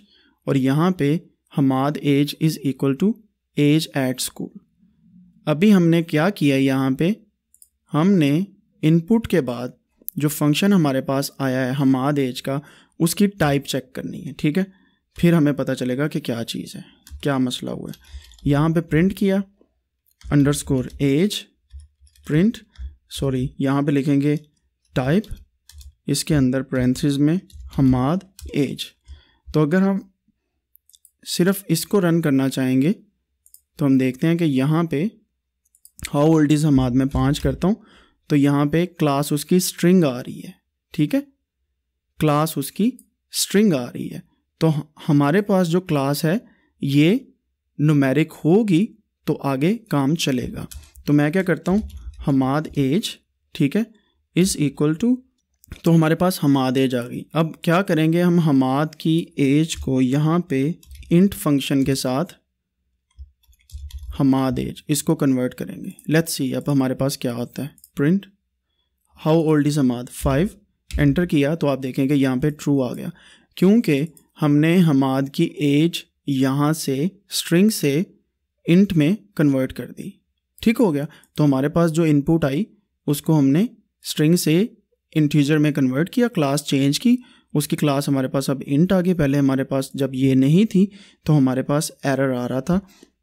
कि ये फॉल्स है। लेट्स सी ये देखें, ये पास, हमारे पास अगर पाँच लिखते हैं तो हमारे पास स्ट्रिंग आ रही थी जो फॉल्स कह रहा था। इसका मतलब पाँच भी डालते थे तो वो स्ट्रिंग में आ जाता था। मतलब कहने का ये, जब हम फाइव लिखते थे तो वो फाइव इस तरीके से नहीं, बल्कि इस तरीके से आता था जो स्ट्रिंग की शक्ल में आ रहा था, ठीक है?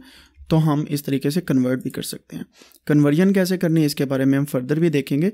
और इनपुट और लॉजिकल ऑपरेटर्स को किस तरीके से यूज़ करना है तो आप देख सकते हैं। ठीक है? अभी आप इन सभी चीज़ों को ऑपरेट करें एंड यहाँ पे कमेंट सेक्शन में लिख दें कन्वर्ट इनपुट कन्वर्ट इनपुट लिखें ताकि मुझे समझ लग जाए कि यहाँ तक आपने देख लिया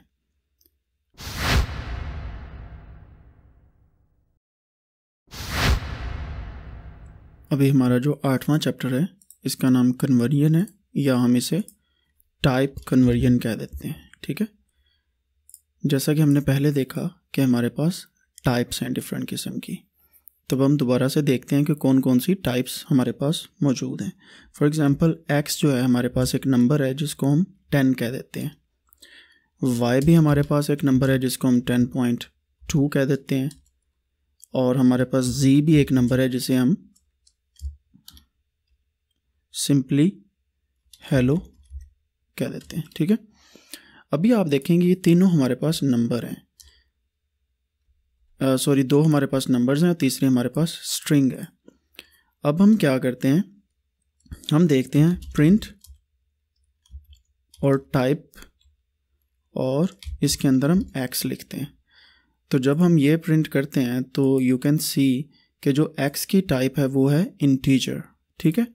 जब हम यहीं पे वाई लिखते हैं तो वाई की टाइप जो है वो है हमारी फ्लोट ठीक है?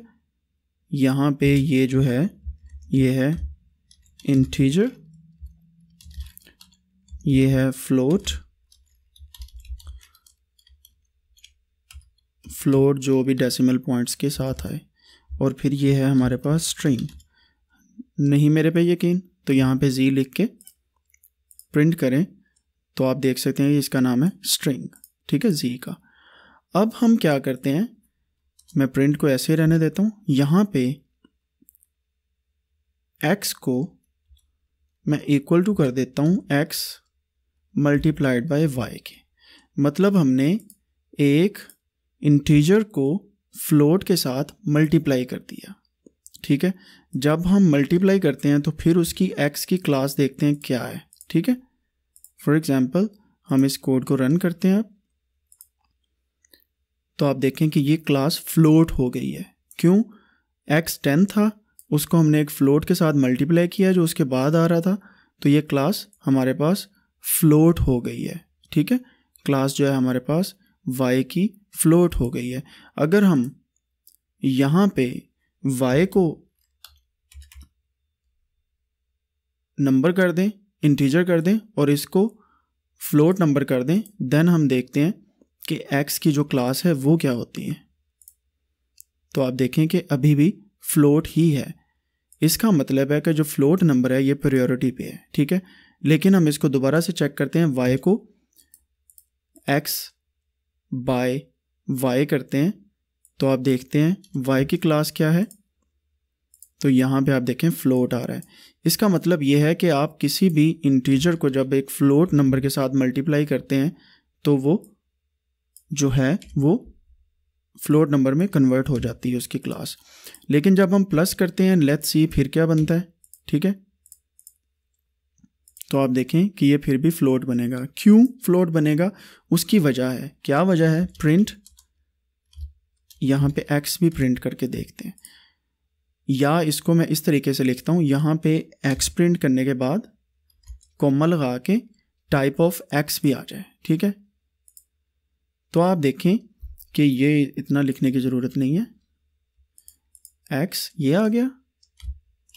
टाइप ऑफ़ एक्स इज़ उसके बाद उसकी टाइप आ जाएगी। यहाँ पे कॉमा आएगा। ठीक है? तो आप देखें 20.2 जो है, ये एक्स आ गया। Type of x is class float ठीक है? अब आप ये देखें, इसका मतलब ये है कि two plus ten plus ten point two हमारे पास ट्वेंटी ट्वेंटी पॉइंट टू हो जाता है, जो ऑलरेडी फ्लोट है। तो इस तरीके से आप इसको कन्वर्ट कर सकते हैं, जब आप ये वाला फ़ंक्शन यूज़ करते हैं। इसको बोलते हैं हम, मुश्किल सा नाम है implicit conversion implicit type conversion ठीक हो गया? अब आप देखें इम्प्लिसिट का मतलब है कि अंदरूनी तौर पे उसको मल्टीप्लिकेशन या कोई भी हमने तरीक़ेकार से कर दिया। दूसरी टाइप होती है एक्सप्लिसिट टाइप कन्वर्जन उसमें हम क्या करते हैं, वो अब देख लेते हैं। जैसा कि हमने पहले देखा कि जब हम यहाँ पे पूछते हैं एज इसको इनपुट वेरिएबल देते हैं, उसके अंदर लिखते हैं व्हाट इज़ योर एज ठीक है? जब हम किसी से उसकी एज पूछते हैं देन हम प्रिंट करते हैं टाइप को एज की टाइप को, ठीक है? ठीक है? तो क्या होता है? मैं ये पीछे वाला सारा कमेंट आउट करता हूँ, ताकि आपको समझ आए कि मैं यहाँ पे क्या कहना चाह रहा हूँ। इसको मैं जब रन करता हूँ तो वो कहता है व्हाट इज़ योर एज मैं कहता हूँ एटीन एंटर किया तो वो कहता है क्लास इसकी स्ट्रिंग है. हाउ इज़ इट पॉसिबल कि नंबर की क्लास स्ट्रिंग हो जाए? ये तो इंटीजर होनी चाहिए थी। तो अब हमने क्या करना है? यहाँ पे, जैसे मैंने पिछले चैप्टर में आपको बताया कि एज को हमने इंटीजर में कन्वर्ट कर देना या तो हम यहाँ पे लिख देंगे इंटीजर एज ठीक है? देन हम जब इसको टाइप करते हैं 18 तो आप देखें कि यहाँ पे इसकी क्लास या टाइप चेंज हो चुकी है इंटीजर में। इसको इस तरीके से लिखने की बजाय आप इनपुट के बाद यहाँ पे भी एज के बाहर भी इंट की लगा सकते हैं टाइप लेट्स सी ये काम करता है या नहीं?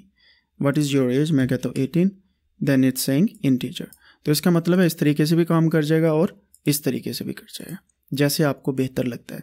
लेकिन यहाँ पे एक मसला है एज जो हमने इनपुट किया वो प्रिंट नहीं हो रही। तो हम क्या करेंगे, इसके पीछे भी यहाँ पे age comma type integer age ये भी लगा देंगे। सिंपल इज़ दैट यहाँ पे मैं एटीन ऐड करता हूँ तो ये एटीन आ जाएगा और क्लास उसकी इंटीजर आ जाएगी, ठीक है?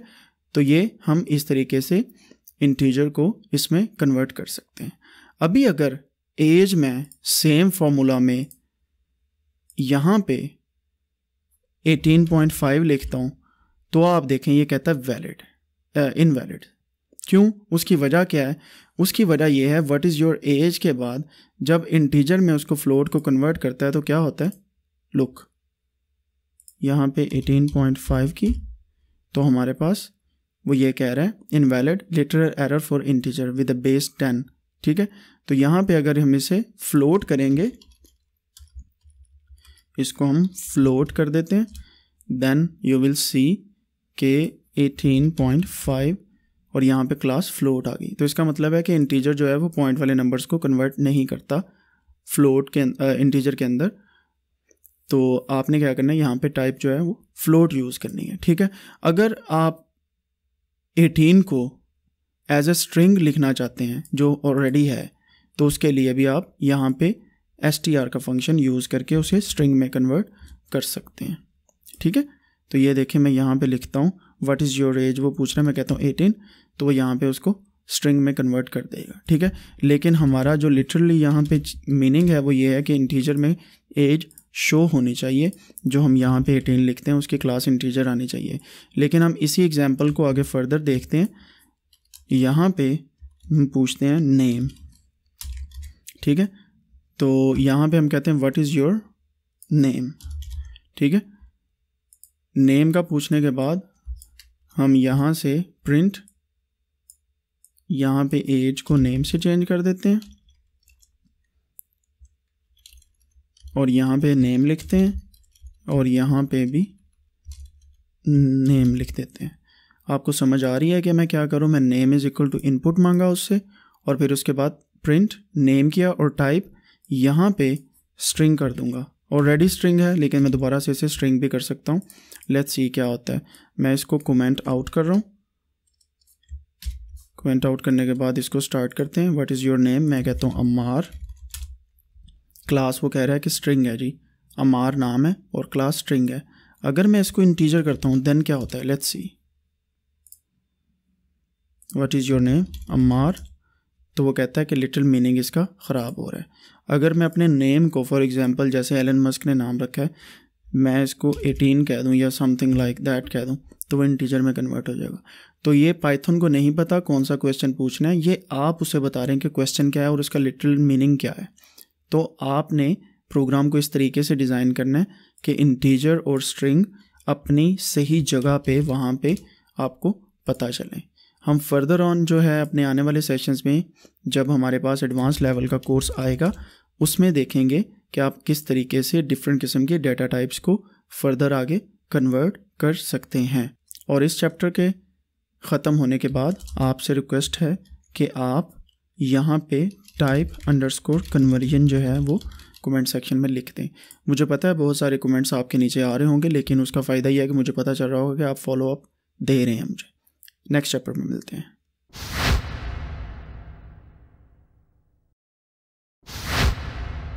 अब चलते हैं हम अपने चैप्टर नंबर नाइन की तरफ़, जिसका नाम है if else and elif statements ठीक है? इसको फिर मैंने रीनेम करना है। आप स्टार्ट में इसको डॉट पी वाई कर लिया करें तो ये हमारे पास आ जाएगी। अब हम देखते हैं कि कहाँ पे हम ये तीन चीज़ें यूज़ कर सकते हैं। जैसा कि मैंने बताया पहले कि फॉर एग्ज़ाम्पल एक मिसाल है कि स्कूल जाने के लिए जो एज है required age age at school वो है पाँच साल। ठीक है? और जो हमाद की एज है, जो मेरा छोटा भाई है, वो है चार साल। ठीक हो गया? अभी हमारा क्वेश्चन ये है क्वेश्चन ये है can Hamad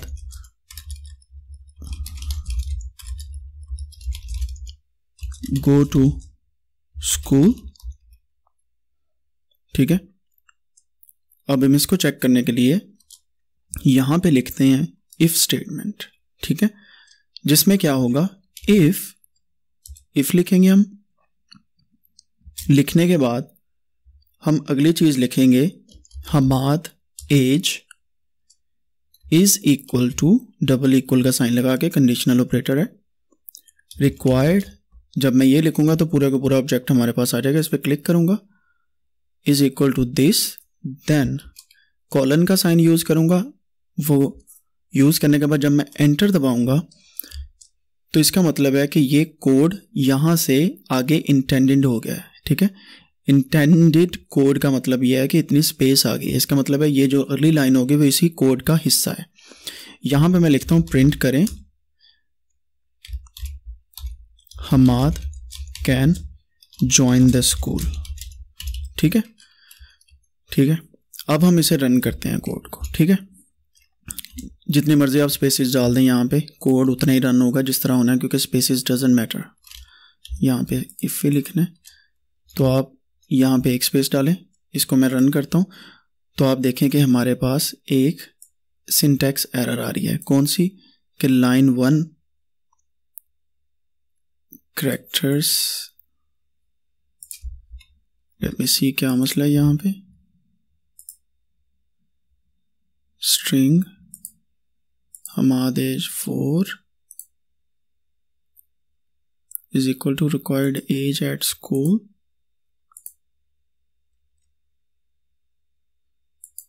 five four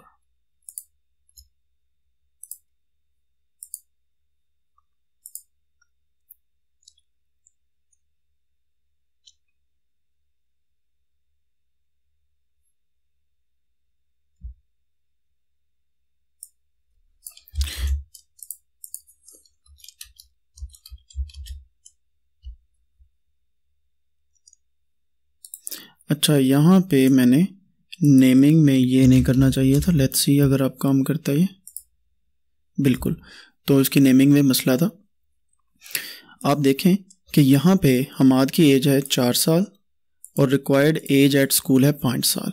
question ये है can Hamad go to school तो उसको आस्क करने के लिए हमने क्वेश्चन को पूछने के लिए इफ़ स्टेटमेंट यूज़ की और यहाँ पे लिखा, Hamad age double equal to is equal to the required age इसका मतलब है कि रिक्वायर्ड एज स्कूल में जो है, अगर इसके इक्वल हमाद की एज है if this statement is true then print this ठीक है? इसका मतलब यह है कि अगर हमाद की एज रिक्वायर्ड स्कूल की एज के बराबर है तो ये प्रिंट कर दें, ठीक है? जब हम इसे रन करते हैं तो यहाँ पे कुछ भी प्रिंट नहीं होता। क्यों? क्योंकि ये एक फॉल्स स्टेटमेंट हम लिख रहे हैं। कैसे हमाद की एज चार साल है, लेकिन required age at school five years है। यहाँ पे इसको चार की बजाय अगर मैं पाँच करता हूँ और इसे रन करता हूँ you can see Hamad can join the school ठीक है? ये आ गया हमारे पास स्टेटमेंट मगर हमाद की एज तो चार साल है, इसको मैं रन करता हूँ तो कुछ भी नहीं आ रहा। तो इसका मतलब है कि जब आप इफ़ स्टेटमेंट लिखते हैं तो उसके बाद अगर ये कंडीशन पूरी ना हो तो आपको ये भी बताना चाहिए कि अगर ये नहीं पूरा होता तो कुछ और है तो आप ये प्रिंट कर दें। फॉर एग्ज़ाम्पल अगर हमाद की एज इसके बराबर नहीं है तो आप यहाँ पे एल्स लिखें। एल्स लिखने के बाद कॉलन लगाएँ। कॉलन लगाने के बाद आप यहाँ पे लिख सकते हैं प्रिंट ठीक है? Hamad can not go to school ठीक है? अब आप इसको प्रिंट करते हैं तो देखते हैं। तो आप देखें, यहाँ पे स्टेटमेंट आ रही है, Hamad can not go to school इसका मतलब है कि अगर हमाद की एज इसके इक्वल होती तो ये प्रिंट होता। अब इक्वल नहीं है तो ये प्रिंट हो रहा है। तो इफ़ और एल्स की स्टेटमेंट का ये मकसद है।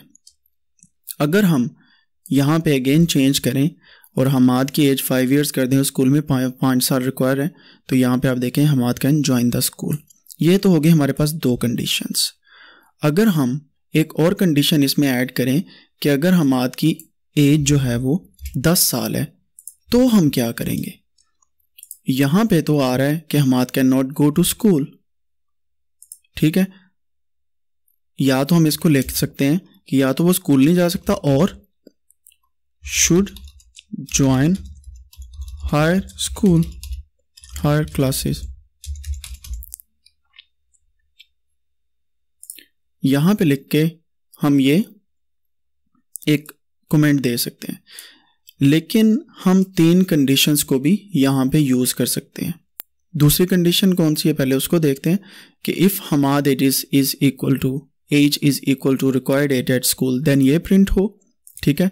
अदरवाइज़ हम एक तीसरी कंडीशन भी ले आते हैं जिसे हम एलिफ बोलते हैं। इसका मतलब है एल्स इफ़ ठीक है? एल्स इफ़ का मतलब यह है कि हमाद की एज अगर ग्रेटर देन ठीक है रिक्वायर्ड एज एट स्कूल है तो क्या होगा? फिर हम प्रिंट करें। यहाँ पे Hammad is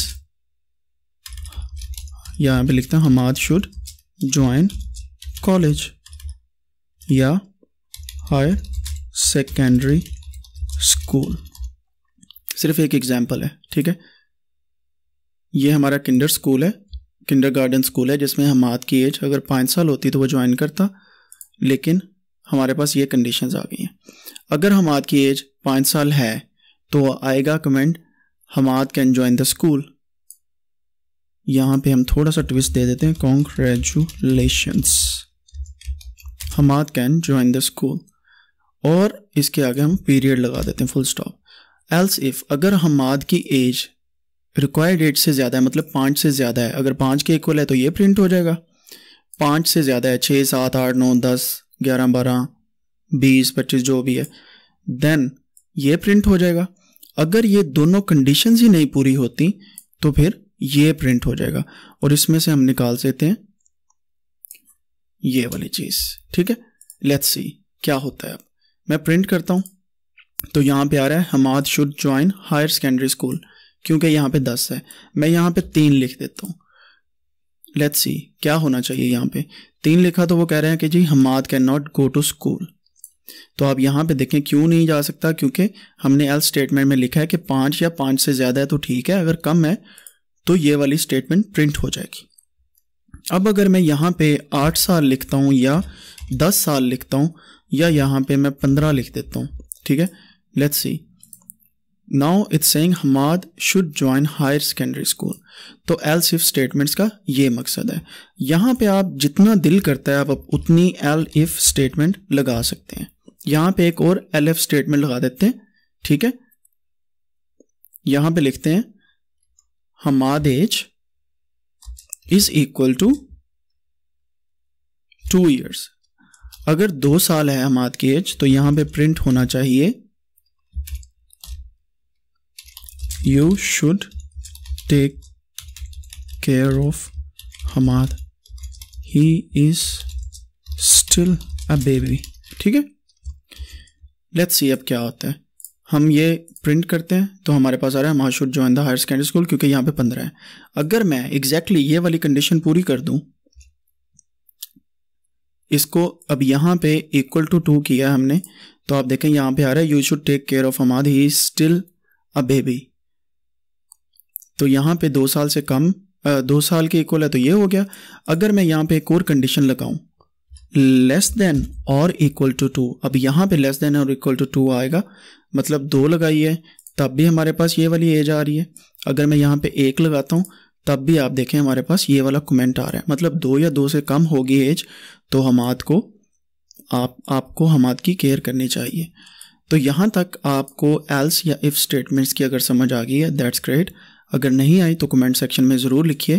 Please repeat else if statement अगर आपको समझ आ गई है else if elif else statements clear ये आप कमेंट सेक्शन में लिख सकते हैं।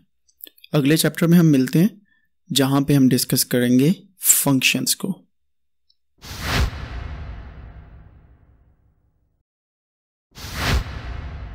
अब चलते हैं जी हमारे चैप्टर नंबर टेन की तरफ़। चैप्टर नंबर टेन और जिसका नाम है functions dot P Y chapter number ten में हम फ़ंक्शंस देखेंगे कि फ़ंक्शंस क्या होते हैं और इनका क्या फ़ायदा है।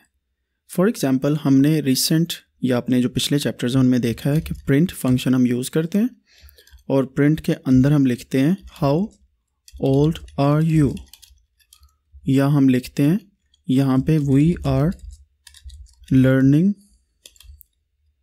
with Amar ठीक है? हम इसी फ़ंक्शन को जब प्रिंट करते हैं तो यह हमारे पास यहाँ पे एक दफ़ा we are learning with Ammar print हो जाता है। जब मैं इसे दो दफ़ा प्रिंट करता हूँ तो यहाँ पे ये दो दफ़ा प्रिंट हो जाता है। और जब मैं तीसरी दफ़ा प्रिंट करता हूँ तो ये तीन दफ़ा प्रिंट हो जाता है। तो इस तरह सो ऑन ये चलता रहता है, ठीक है? लेकिन जब यही फ़ंक्शन को मैं छः दफ़ा प्रिंट करता हूँ तो आप देखें कि छः दफ़ा प्रिंट तो हो गया, लेकिन अक्सर अवकात हमें अपने जो फ़ंक्शंस हैं, यानी ये प्रिंट जो है, एक फ़ंक्शन है जो कॉल कर रहा है आउटपुट में ये वाली स्ट्रिंग को। फ़ंक्शन का मतलब ये होता है कि जो भी चीज़ आप लिखें, वो एक मकसद के तहत आपको आउटपुट में शो हो जाए। ठीक है? अभी इसको हम देखते हैं। लेकिन आप देखेंगे कि यहाँ पे मैंने इंटेंशनली ये गलती की, जो आपको लग रहा होगा कि मैं स्पेलिंग मिस्टेक कर गया हूँ। फॉर एग्ज़ाम्पल अगर मैं यहाँ पे लिखता लर्निंग तो मुझे जी लगाना पड़ता। अभी मुझे जब इसको मैं प्रिंट करता हूँ तो मुझे सभी के साथ जी लगाना पड़ेगा। लेकिन ये बहुत ज़्यादा हैक्टिक काम है, जब आप hundreds of lines of codes के साथ काम कर रहे हो, ठीक है? तो इसको करने के लिए आप सिंपल सा एक फ़ंक्शन जो है, उसे डिफ़ाइन कर सकते हैं, खुद से। अब तक आपने सारे पैकेजेस सारा कुछ देखा जो ऑलरेडी चलता आ रहा था, ये किसी ने प्रिंट फ़ंक्शन जो है, ये भी डिफ़ाइन किया हुआ है। इसके बारे में डिटेल में डिस्कस करेंगे अपने नेक्स्ट कोर्स में, लेकिन इसमें मैं आपको सिर्फ़ ये बताऊँ कि फ़ंक्शंस को कैसे डिफ़ाइन करना है। डिफाइनिंग अ फ़ंक्शन ठीक है? इसको डिफ़ाइन करने के लिए सबसे पहले आप जो चीज़ लिखते हैं वो है def D E F define करने के लिए ये एक फ़ंक्शन को डिफ़ाइन करने के लिए एक पाइथन की आर्गूमेंट है या कमांड है। देन आप क्या करते हैं? फ़ंक्शन का कोई भी नेम देते हैं। मैं यहाँ पे लिखता हूँ प्रिंट कोडेनिक्स तो ये मेरे फ़ंक्शन का नेम हो गया। तो जैसे आपको पता है, जैसे हम प्रिंट को लिखते हैं, उसके बाद हम पेरेंथसिस लगाते हैं, ठीक है? तो इस तरीके से हम इस फ़ंक्शन को डिफाइन करने के बाद भी यहाँ पे पेरेंथसिस लगाएँगे। जब हमारा फ़ंक्शन यहाँ पे डेफ का फ़ंक्शन लग गया और प्रिंट कोडेनिक्स और ये प्रेंसिस आगे इसका मतलब है कि ये हमारे फ़ंक्शन का नाम है और ये हमारे फ़ंक्शन को डिफाइन करने के लिए हमने एक चीज़ लगाई है। इसके बाद हम लगाएँगे कॉलन एंटर करेंगे। मैं इसको थोड़ा सा जूम इन कर लेता हूँ। एंटर करने के बाद आप देखते हैं कि ये लाइन जो है यहाँ से उठ के टैब फ़ंक्शन के साथ ऑटोमेटिकली आगे चलेगी। जिसका मतलब है कि ये एक ही लाइन ऑफ़ कोड गिनी जाएगी, ठीक है? अब यहाँ पे मैं लिखता हूँ ये वाली चीज़ सारी ठीक हो गया। लेकिन इसको लिखने से पहले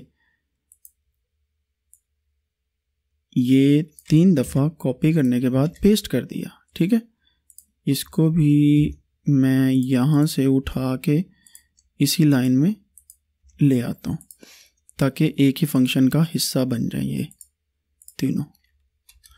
तो आप देखें कि मैंने एक लाइन में कर दिया। तो इसका मतलब है कि ये हमारा जो फ़ंक्शन है, ये डिफ़ाइन हो गया। अब मैं बैक स्पेस दबा के पीछे जाता हूँ तो इसको डिफ़ाइन करने के बाद मैं इन सभी को जो है डिलीट कर देता हूँ, ताकि हम स्क्रैच से स्टार्ट करें डिफाइनिंग फ़ंक्शन मैं यहाँ पे जब लिखता हूँ प्रिंट कोडेनिक्स ठीक है?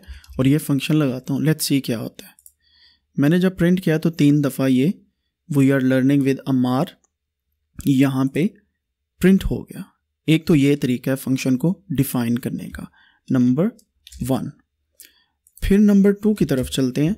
नंबर टू वे जो दूसरा तरीका है, वो ये है कि आप सिंपली मैं सारे के सारा फ़ंक्शन यहाँ से कॉपी करता हूँ, यहाँ पे पेस्ट करता हूँ, और इसको यहाँ के बाद मैं यहाँ पे लिखता हूँ टेक्स्ट ठीक है?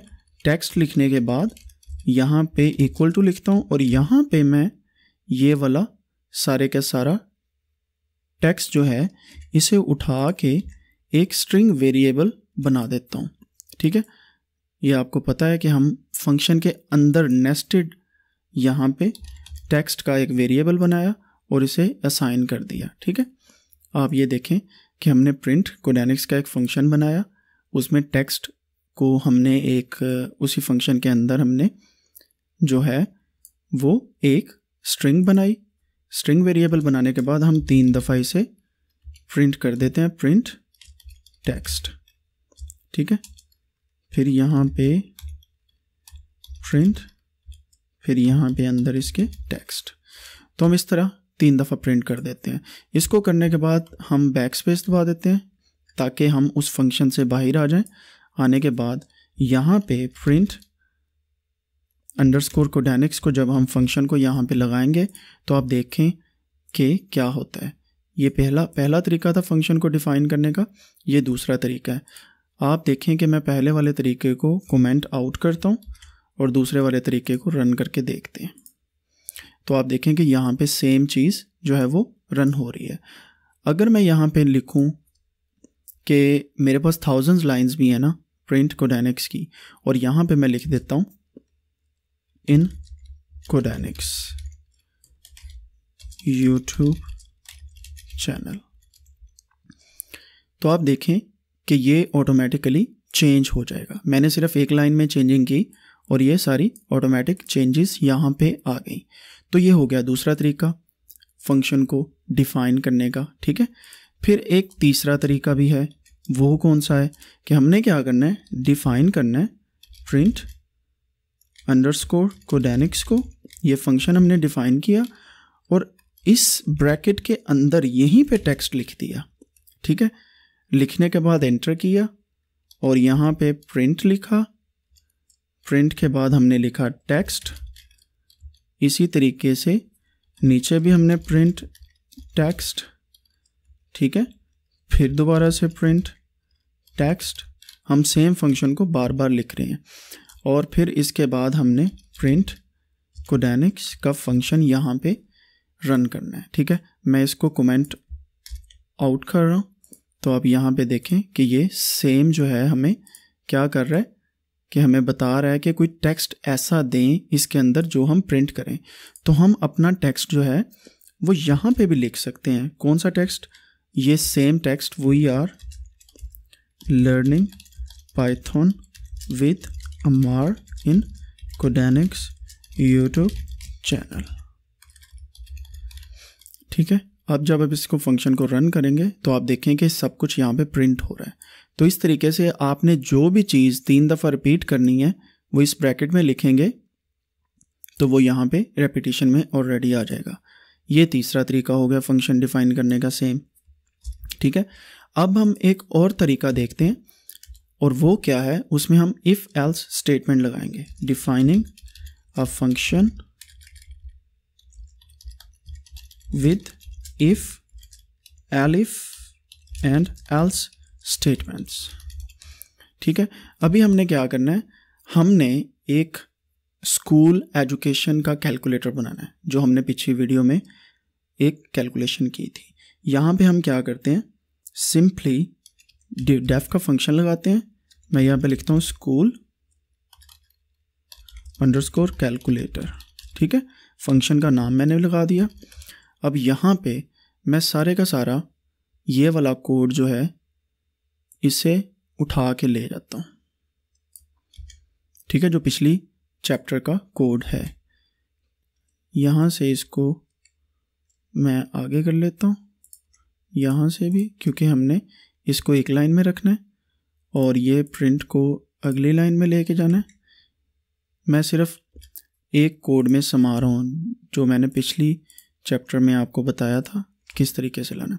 अब आप यहाँ पे देखें कि हमारे पास यहाँ पे, बल्कि इसको स्क्रैच से दोबारा बनाते हैं। स्क्रैच से दोबारा बनाते हैं, आपको इजी रहेगा। यहाँ पे हम कहते हैं कि एक स्कूल कैलकुलेटर हमने बनाना है, जिसमें हम कि यहाँ पे लिखें एज कोमा टेक्स्ट ठीक है? और यहाँ पे लिखते हैं if age is equal to five ठीक है? देन क्या करें? कॉलन लगाना है। यहाँ पे लिखेंगे print Hamad can join the school ठीक है? यहाँ पे लिखेंगे एलिफ जो हमने पिछली स्टेटमेंट थी, उसे करेंगे।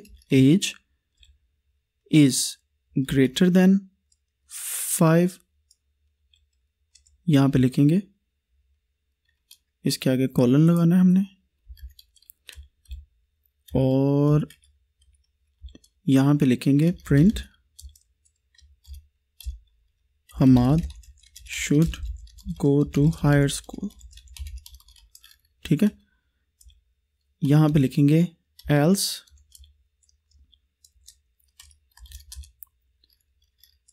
print Hamad is still a baby ठीक हो गया। तो आप देखें कि यहाँ पे हमने एक फ़ंक्शन डिफाइन किया जिसका नाम है स्कूल कैलकुलेटर अगर एज हम यहाँ पे कुछ लिखते हैं तो ये फिर प्रिंट के बाद ये टेक्स्ट आ जाना चाहिए वहाँ पे। ठीक हो गया। अभी टेक्स्ट कौन सा आना है, वो आपको हम दिखाते हैं। ठीक है? लेट्स सी क्या होता है इसमें। इस फ़ंक्शन को मैं यहाँ पे लिखता हूँ स्कूल कैलकुलेटर और इसके अंदर मैं लिखता हूँ फाइव ठीक है? कोमा हमाद। लेट्स सी क्या होता है इसका सा Hamad can join the school क्योंकि मैंने एज जो है यहाँ पे फाइव लिखी और वो कहते हैं कि अगर एज पाँच के इक्वल है तो ये वाला प्रिंट होगा। अब मैं यहाँ पे हमाद की एज जो है वो पंद्रह लिखता हूँ।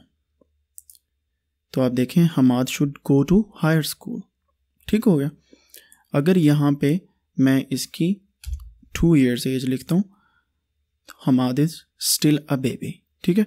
तो आपने इस तरीके से फ़ंक्शन डिफाइन करना है। अभी मैंने हमाद का नाम यहाँ से डिलीट किया, लेकिन आप देखें कि हमारे पास कोई भी टेक्स्ट यहाँ पे नहीं आ रहा। तो इसका मतलब है कि अगर मैं यहाँ पे इसको रिमूव करता हूँ और यहाँ पे टू रहने देता हूँ then our function is still working तो हमें सिर्फ़ यहाँ पे एज लिखनी है और यहाँ पे ये पैरामीटर देने हैं। तो इसका मतलब है कि हमने स्कूल कैलकुलेटर के लिए यहाँ पे सिर्फ़ एज लिखनी है तो यहाँ पे बाकी चीज़ें हमारे पास ऑटोमेटिकली सेट हो जाएँगी। यहाँ तक आपको समझ आ गई होगी। इस तरीके से हम डिफाइन कर सकते हैं किसी भी फ़ंक्शन को। एक फ़ंक्शन को और हम मैथमेटिकल ऑपरेटर्स के साथ डिफाइन करते हैं। वो कैसे करना है? Defining a function of future future function हमने डिफाइन करना है यहाँ पे। डेफ का फ़ंक्शन लगाया, ठीक है? एड या इसमें लिख देते हैं फ्यूचर अंडरस्कोर एज ठीक है? इसका फ़ंक्शन हमने बनाया, और यहाँ पे हम लिखते हैं फॉर एग्ज़ाम्पल एज ठीक है? यहाँ पे लिखते हैं कि new underscore age is equal to age plus twenty ठीक है फ्यूचर एज मतलब बीस साल बाद हमारी एज क्या होगी? तो यहाँ पे लिखते हैं रिटर्न न्यू एज तो इससे क्या होगा, हमारा एक फ़ंक्शन बन गया जिसका नाम है फ्यूचर एज इसके अंदर अगर हम, मैं यहाँ पे अठारह साल लिखता हूँ तो बीस साल बाद क्या होगा? लेट्स सी ये फ़ंक्शन हमारा काम करता है या कोई एरर देता है? तो आप देखें कि हमारे पास कुछ भी यहाँ पे नहीं आ रहा। इसका मतलब है कि हमें कुछ करना है यहाँ पे। फ्यूचर एज के बाद रिटर्न तो आ रहा है, लेकिन हमारे पास कुछ भी यहाँ पे शो नहीं हो रहा। तो हम यहाँ पे क्या करते हैं? न्यू एज को हमने रिटर्न किया, लेकिन फ्यूचर एज के बाद 18 और यहाँ पे हमने प्रिंट का फ़ंक्शन लगा के करना है न्यू एज ठीक है? लेट्स सी तो ये अभी भी काम नहीं कर रहा। अभी यहाँ पे हम क्या करेंगे? फ्यूचर एज के आगे 18 एज लिख दी ठीक है? लेकिन इसके पीछे हमने लगाना है हाउ यहाँ पे लिखेंगे फ्यूचर प्रिडिक्टेड एज इसको इक्वल टू कर लिया फ्यूचर एज का फ़ंक्शन लगा के 18 ईयर्स ओल्ड तो हम यहाँ पे करेंगे प्रिंट हमारी फ्यूचर प्रिडिक्टेड एज को। तो आप देखें कि क्या होगा, हमारे पास 38 आ जाएगा। इसका मतलब यह है कि हमने यहाँ पे एक फ़ंक्शन बनाया, जिसमें इसके अंदर ऑटोमेटिकली 20 ऐड हो जाएँगे और रिटर्न आएगा हमारे पास न्यू एज का। ठीक है? तो इस फ़ंक्शन से हमें फ्यूचर प्रडिक्टेड एज मिल जाएगी। ये छोटी सी एक मशीन लर्निंग का मॉड्यूल है, जिससे हमने एक फ्यूचर प्रडिक्शन की है किसी भी एज की। तो आप देखें कि छोटे छोटे फ़ंक्शंस को यूज़ करने के बाद आप कितना पावरफुल काम कर सकते हैं। अभी यहाँ पे अगर मैं पाँच लिखूँगा तो आप देखें ऑटोमेटिकली दस उसमें जमा हो जाएगा, पच्चीस आ जाएगा। तो आप इसी तरीके से डिफरेंट किस्म के इनपुट क्वेश्चंस भी पूछ सकते हैं। ठीक हो गया? तो उसके बारे में हम अपनी एडवांस क्लासेस में देखेंगे। इस इस चैप्टर के लिए इतना ही। नेक्स्ट चैप्टर में हम मिलते हैं। अगर आपको फ़ंक्शंस की समझ आ गई है I understand functions really good really well कर दें। तो आप ये वाला कमेंट सेक्शन में लिखें ताकि मुझे पता चले कि आपने मेरे साथ प्रैक्टिस की है। नेक्स्ट चैप्टर में मिलते हैं।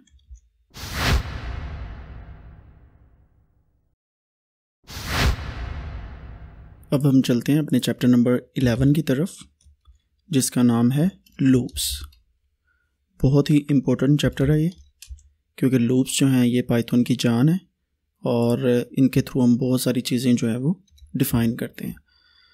अब यहाँ पे हम लूप्स में दो किस्म के लूप्स होते हैं while loops and for loops ठीक है? तो हम पहले देखेंगे वाइल लूप्स को। वाइल लूप्स में हम कोई भी चीज़ जो है वो डिफ़ाइन करते हैं। और लूप्स होते क्या हैं, इनके बारे में मैं थोड़ा सा बता दूँ।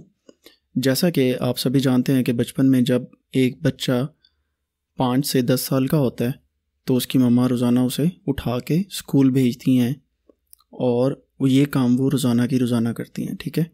तो वो लूप में एक काम को बार बार करती हैं अनटिल अनलेस वो बच्चा जो है वो खुद ब खुद स्कूल जाने के लिए तैयार हो जाए। जस्ट इमेजिन ये कंडीशन है हमारे पास, ठीक है?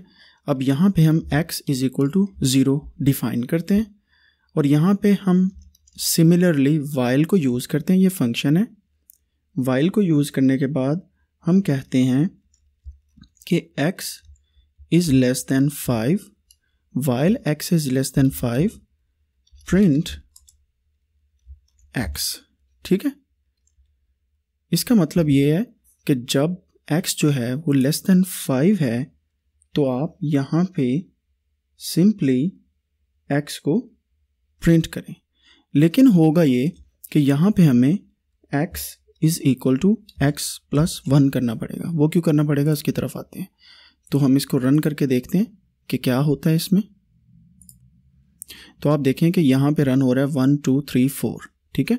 तो लेस देन फाइव हमने बोला था तो इसका मतलब है कि जब तक एक्स पाँच तक नहीं पहुँच जाता, तब तक एक्स को प्रिंट करो। अगर हम एक्स प्लस वन ना करते तो यहाँ पे एक्स की वैल्यूज़ जो हैं, वो बार बार इसी लूप में इन्फिनिटी के तौर पे zero zero zero zero zero या one one one one one इस तरीके से आती रहती। तो इसको हम इन्फिनिट लूप कहते हैं, जो कभी ख़त्म नहीं होता, ठीक है? तो हमें यहाँ पे एक इंक्रीमेंट देनी पड़ती है ताकि एक्स की जो वैल्यू है वो पाँच तक पहुँच जाए और वहाँ से रुक जाए। अगर हम यहाँ पे x is less than equal to five करते तो क्या होता? तो आप देखें यहाँ पे फाइव भी आ रहा है, ठीक है? तो ये यहाँ पे इसका यूज़ है। इसके बाद मैं थोड़ा सा जूम आउट कर लेता हूँ और यहाँ पे हम दूसरा लूप देखते हैं, जिसका नाम है, ये हमने वाइल लूप देखा। इसके बाद हम देखते हैं फोर लूप्स फोर लूप क्या होता है? इसमें हम सिंपली वही काम करते हैं। फोर एक्स इन रेंज, ठीक है? रेंज हम बताते हैं पाँच से दस तक की रेंज है। For x in range, this, फिर हम लिखेंगे प्रिंट एक्स, ठीक है? अब इसमें क्या है? इसमें हमने वही चीज़ बताई है कि जब तक एक्स पाँच और दस के दरमियान है, तब तक इसे रिपीट करते रहो। लेट्स सी क्या होता है। मैं ये वाले कोड को कमेंट आउट कर देता हूँ, ताकि सिर्फ़ ये वाला कोड रन हो। तो आप देखें कि यहाँ पे हमारे पास सिर्फ़ और सिर्फ़ छः, सात, आठ, नौ, ये चार डिजिट्स जो हैं, ये प्रिंट हुए हैं। लेट्स सी अगेन ठीक है? तो क्यों ऐसा हुआ? क्योंकि हमने एक रेंज बताई थी पाँच से दस तक। यहाँ से चार से ग्यारह कर दें आप तो आपके पास रेंज आ जाएगी। पाँच छः सात, आठ, नौ, दस। तो इस रेंज के दरमियान दरमियान एक्स की वैल्यू जो है वो बार बार मूव कर रही है। ठीक है? तो ये हमारा फोर लूप होता है। तो इसको एक प्रोग्राम में हम किस तरीके से यूज़ करते हैं, वो देखते हैं आप। मैं बड़ा सुकून से आपको ये चीज़ बताने वाला हूँ, क्योंकि ये बहुत इंपॉर्टेंट चीज़ है। फॉर एग्ज़ाम्पल हम एक एरे बनाते हैं। एरे का मतलब होता है एक डेटा सेट ठीक है? इसके बारे में हम डिस्कस करेंगे, लेकिन आप इतना समझ लें कि हमने एक एरे बनाई। एरे को हमने नाम दिया डेज़ का। इसके अंदर हमने डिफरेंट डेज़ जो हैं उन्हें मर्ज किया like Monday comma Tuesday comma Thursday comma Friday comma Saturday comma Sunday ठीक है? ये हमने एक एरे बना ली डेज़ की, ठीक है? अब यहाँ पे हम क्या फोर लूप को यूज़ करेंगे? कैसे? फोर डी इन ठीक है? ये हम लगाने के बाद कहेंगे कि डेज़ के अंदर for d in days print क्या? डी प्रिंट करें। अब इसमें क्या है? आई इन डेज़ करके भी ये कर सकते हैं। इसका मतलब है कि एंटिटी जो भी इसके अंदर है, उसको हम डी का नाम दे देते हैं डेज़ के अंदर। आप इसे आई भी कह सकते हैं सिमिलर बात है। तो जब हम इसे डी का नाम देते हैं तो प्रिंट डे करें। तो जब हम इसे रन करते हैं यू कैन सी हेयर कि Monday Tuesday Thursday Friday Saturday Sunday अब यहाँ पे एक हमारे पास मिसिंग वैल्यू है। वो कौन सी है? यहाँ पे हम वेंसडे लिख देते हैं। ये अनइंटेंशली मेरे से मिस होगी। अब आप दोबारा चेक करें। तो Mon Tuesday Wednesday Thursday Friday Saturday and Sunday यहाँ पे मंडे भी आएगा। ठीक है? ये सारे डेज़ जो है हमारे पास आ गए। अब हम क्या करते हैं? हम यहाँ पे कहते हैं कि जब हमारे पास यहाँ पे हम लॉजिकल ऑपरेटर यूज़ करने के बाद भी इसको लगा सकते हैं। फॉर एग्ज़ाम्पल मैं कहता हूँ इफ़ यहाँ पे हम इफ़ फ़ंक्शन यूज़ करते हैं और हम कहते हैं कि if d is equal to यहाँ पे हम इफ़ फ़ंक्शन यूज़ करने के बाद कहते हैं d is equal to Thursday या हम कहते हैं कि Friday then break this for loop break कर दो इस लूप को, ठीक है? लेट्स सी क्या होता है। इससे ये होगा, आप देखें मंडे ट्यूसडे वेंसडे थर्सडे जब आया तो ऑटोमेटिकली यहाँ पे रुक गया। जब फ्राइडे आया तो इससे आगे लूप ही नहीं चला। तो हमने यहाँ पे ब्रेक कर दिया। इससे क्या होगा? लूप स्टॉप्स ठीक है? अब अगला इफ़ स्टेटमेंट हम एक और लगाते हैं। उसमें हम कहते हैं if d is equal to Friday then continue ठीक है? हम इसको कमेंट आउट करते हैं. लेट्स सी अब क्या होता है. अब ये वाली चीज़ इसमें नहीं रन करेगी, ठीक है? लेट्स सी तो आप देखें कि कंटिन्यू सारा चल रहा है, लेकिन इससे क्या हुआ? हमारा फ्राइडे जो है वो स्किप हो गया. स्किप्स डी ठीक है? जो हमने यहाँ पे मेंशन किया कि जब डी फ्राइडे पे आता है तो वो स्किप हो जाएगा, वहाँ से कंटिन्यू करो। यहाँ पे ब्रेक हो जाता है, ठीक है? तो इस तरीके से आप अपने लूप्स जो हैं, उन्हें डिफरेंट तरीक़ों से डिफ़ाइन कर सकते हैं। तो लूप्स को डिफ़ाइन करने के कई और भी तरीके हैं, लेकिन हम बेसिक्स में इतना ही सीखेंगे। आगे एडवांस कोर्सेज में मैं आपको फर्दर इसकी बहुत सारी डिटेल में बातें बताऊँगा। हम चलते हैं अब अपने नेक्स्ट चैप्टर की तरफ़, जिसका नाम है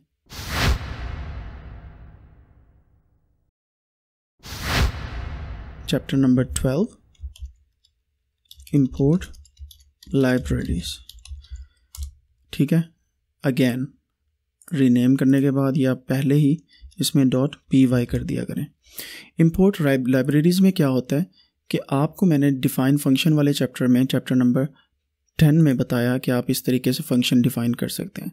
लेकिन दुनिया में बहुत सारे प्रोग्रामर्स हैं जिन्होंने ऑलरेडी बहुत सारे फ़ंक्शंस जो हैं वो डिफ़ाइन किए हुए हैं। तो ख़ुद से डिफ़ाइन करने के बजाय ओपन सोर्स उनके फ़ंक्शन जो हैं, उन्हें आप यूज़ कर सकते हैं। ठीक है? उस, उन फ़ंक्शंस में से कुछ फ़ंक्शंस आज हम देखते हैं। फॉर एग्ज़ाम्पल अगर आप चाहते हैं if you want to print the value of pi pi क्या है? ये एक सिंबल है। जो मैथमेटिक्स में यूज़ होता है तो उसके लिए हम क्या करते हैं? एक लाइब्रेरी इंपोर्ट करते हैं। इंपोर्ट मैथ ठीक है? हमने ये लाइब्रेरी इंपोर्ट की। इंपोर्ट करने के बाद हम क्या करते हैं? यहाँ पे करते हैं प्रिंट ठीक है? हम यहाँ पे लिखते हैं the value of pi is space ये हमने अपना एक स्ट्रिंग लिख दिया, ठीक है? फिर इस स्पेस के बाद हम लिखते हैं मैथ जब हम मैथ लिखेंगे तो हमारी ये लाइब्रेरी ओपन हो जाएगी डॉट अब ये मैथ की सारी फ़ंक्शंस हैं। इसमें से कोई भी आप यूज़ कर सकते हैं। ठीक है? आप ये देखें, सारे इसके फ़ंक्शन हैं। तो हम क्या करेंगे? मैथ डॉट पाई जब हम ये लिखेंगे तो क्या करेगा? ये पाई की वैल्यू यहाँ पे प्रिंट कर देगा। लेट्स सी क्या होता है। तो आप देखें कि आपके पास एक एरर आ रही है। इसकी वजह क्या है? वो हम देखते हैं, क्योंकि यहाँ पे आई थिंक सो हमने कोई हाँ ये इंटेंडेड हमने आगे वो किया हुआ था और ये भी हमने आगे वो किया हुआ था। अब ठीक है। तो आप देखें the value of pi is three point one four और आगे तक जा रही है। तो इस तरीके से आपको ये पता होना चाहिए कि ये जब आप कोई भी एक हैश टैग यूज़ करें या स्पेस यूज़ करें तो ये आपका जो कोड है वो पीछे लाइन के साथ टच होना चाहिए, ठीक है? अदरवाइज़ आपका कोड रन नहीं करेगा। तो इस तरीके से आप डिफरेंट किस्म के जो लाइब्रेरीज़ हैं उन्हें इंपोर्ट कर सकते हैं। इसी तरीके की एक और लाइब्रेरी है इंपोर्ट उसको हम करते हैं स्टैटिस्टिक्स स्टैटिस्टिक्स की लाइब्रेरी है। फॉर एग्ज़ाम्पल हमारे पास एक वैल्यू है एक्स की।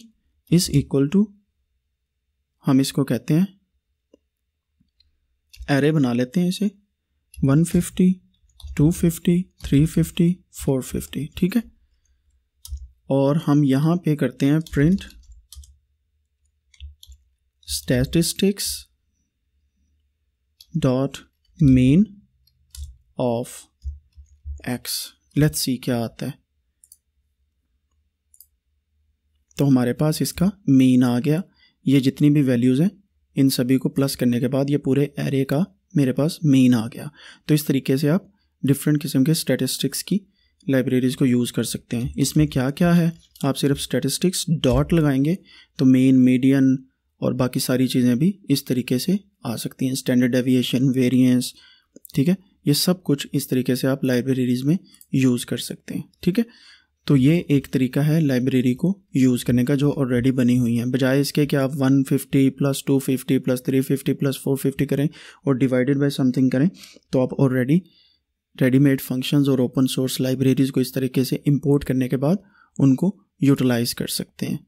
तो इस चैप्टर में आपको ये समझ आ गया होगा कि हमने लाइब्रेरीज़ कैसे इंपोर्ट करनी है। कुछ इंपॉर्टेंट लाइब्रेरीज़ के नाम में मैं बता दूँ। नम पाई है पांडाज है, ठीक है?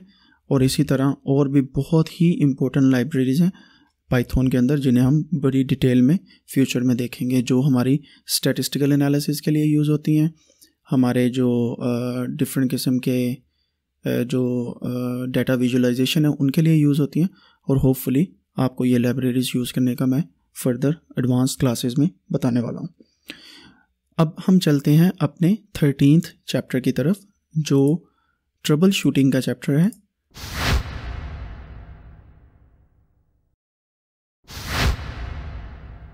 Thirteen trouble shooting dot py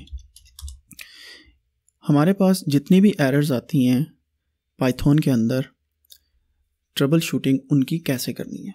ठीक है?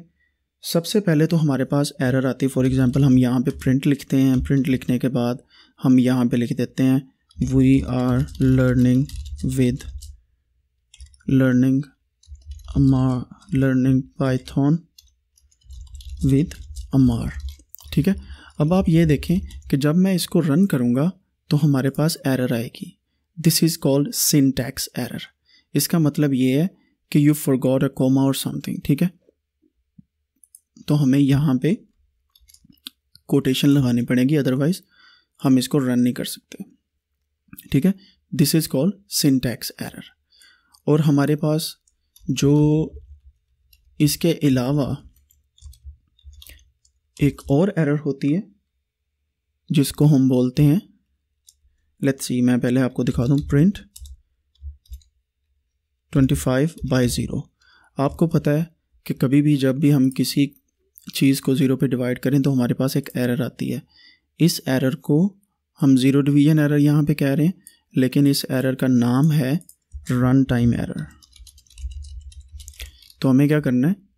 ज़ीरो के बजाय कोई और डिजिट यूज़ करना है। यहाँ पे हमें कोटेशन मार्क्स लगाने ये है सिन टैक्स एरर ये कहता है कि पाइथन की जो लैंग्वेज है, उसके बारे में आप सीखें और पाइथन से पाइथन की लैंग्वेज में बात करें अदरवाइज़ सिंटैक्स एरर देगा। जब वो ये कहेगा कि कोई मैथमेटिकली आपकी एरर है तो उसको हम रन टाइम एरर कह देते हैं, ठीक है? और इसको ट्रबल शूट करना भी ईजी है, इसको भी ट्रबल शूट करना ईजी है। लेकिन फिर आती है तीसरी किस्म की एरर उसको ट्रबल शूट करना बहुत मुश्किल है। क्यों मुश्किल है? मैं आपको दिखाता हूँ। Name is equal to Amar ठीक है? मैं यहाँ पे अगर मैं लिखूँ प्रिंट हेलो यहाँ पे मैं लिखता हूँ हेलो अम्मा नहीं हेलो नेम तो मैं ये सोच रहा हूँ कि ये नेम जो है यहाँ पे ऑटोमेटिकली अमार हो जाएगा। लेकिन होता क्या है कि यहाँ पे हेलो के बाद नेम आ रहा है। इसको हम बोलते हैं समेंटिक एरर इसका मतलब क्या है? कि ये जो भी एरर यहाँ पे आ रही है, ये हमारी अपनी गलती है। पाइथन बिल्कुल ठीक तरीके से कर रहा है हर एक चीज़ को। हमारी गलती ये है कि हमें ये नहीं पता कि पाइथन की किस जगह पे कौन सी चीज़ ऐड करनी है।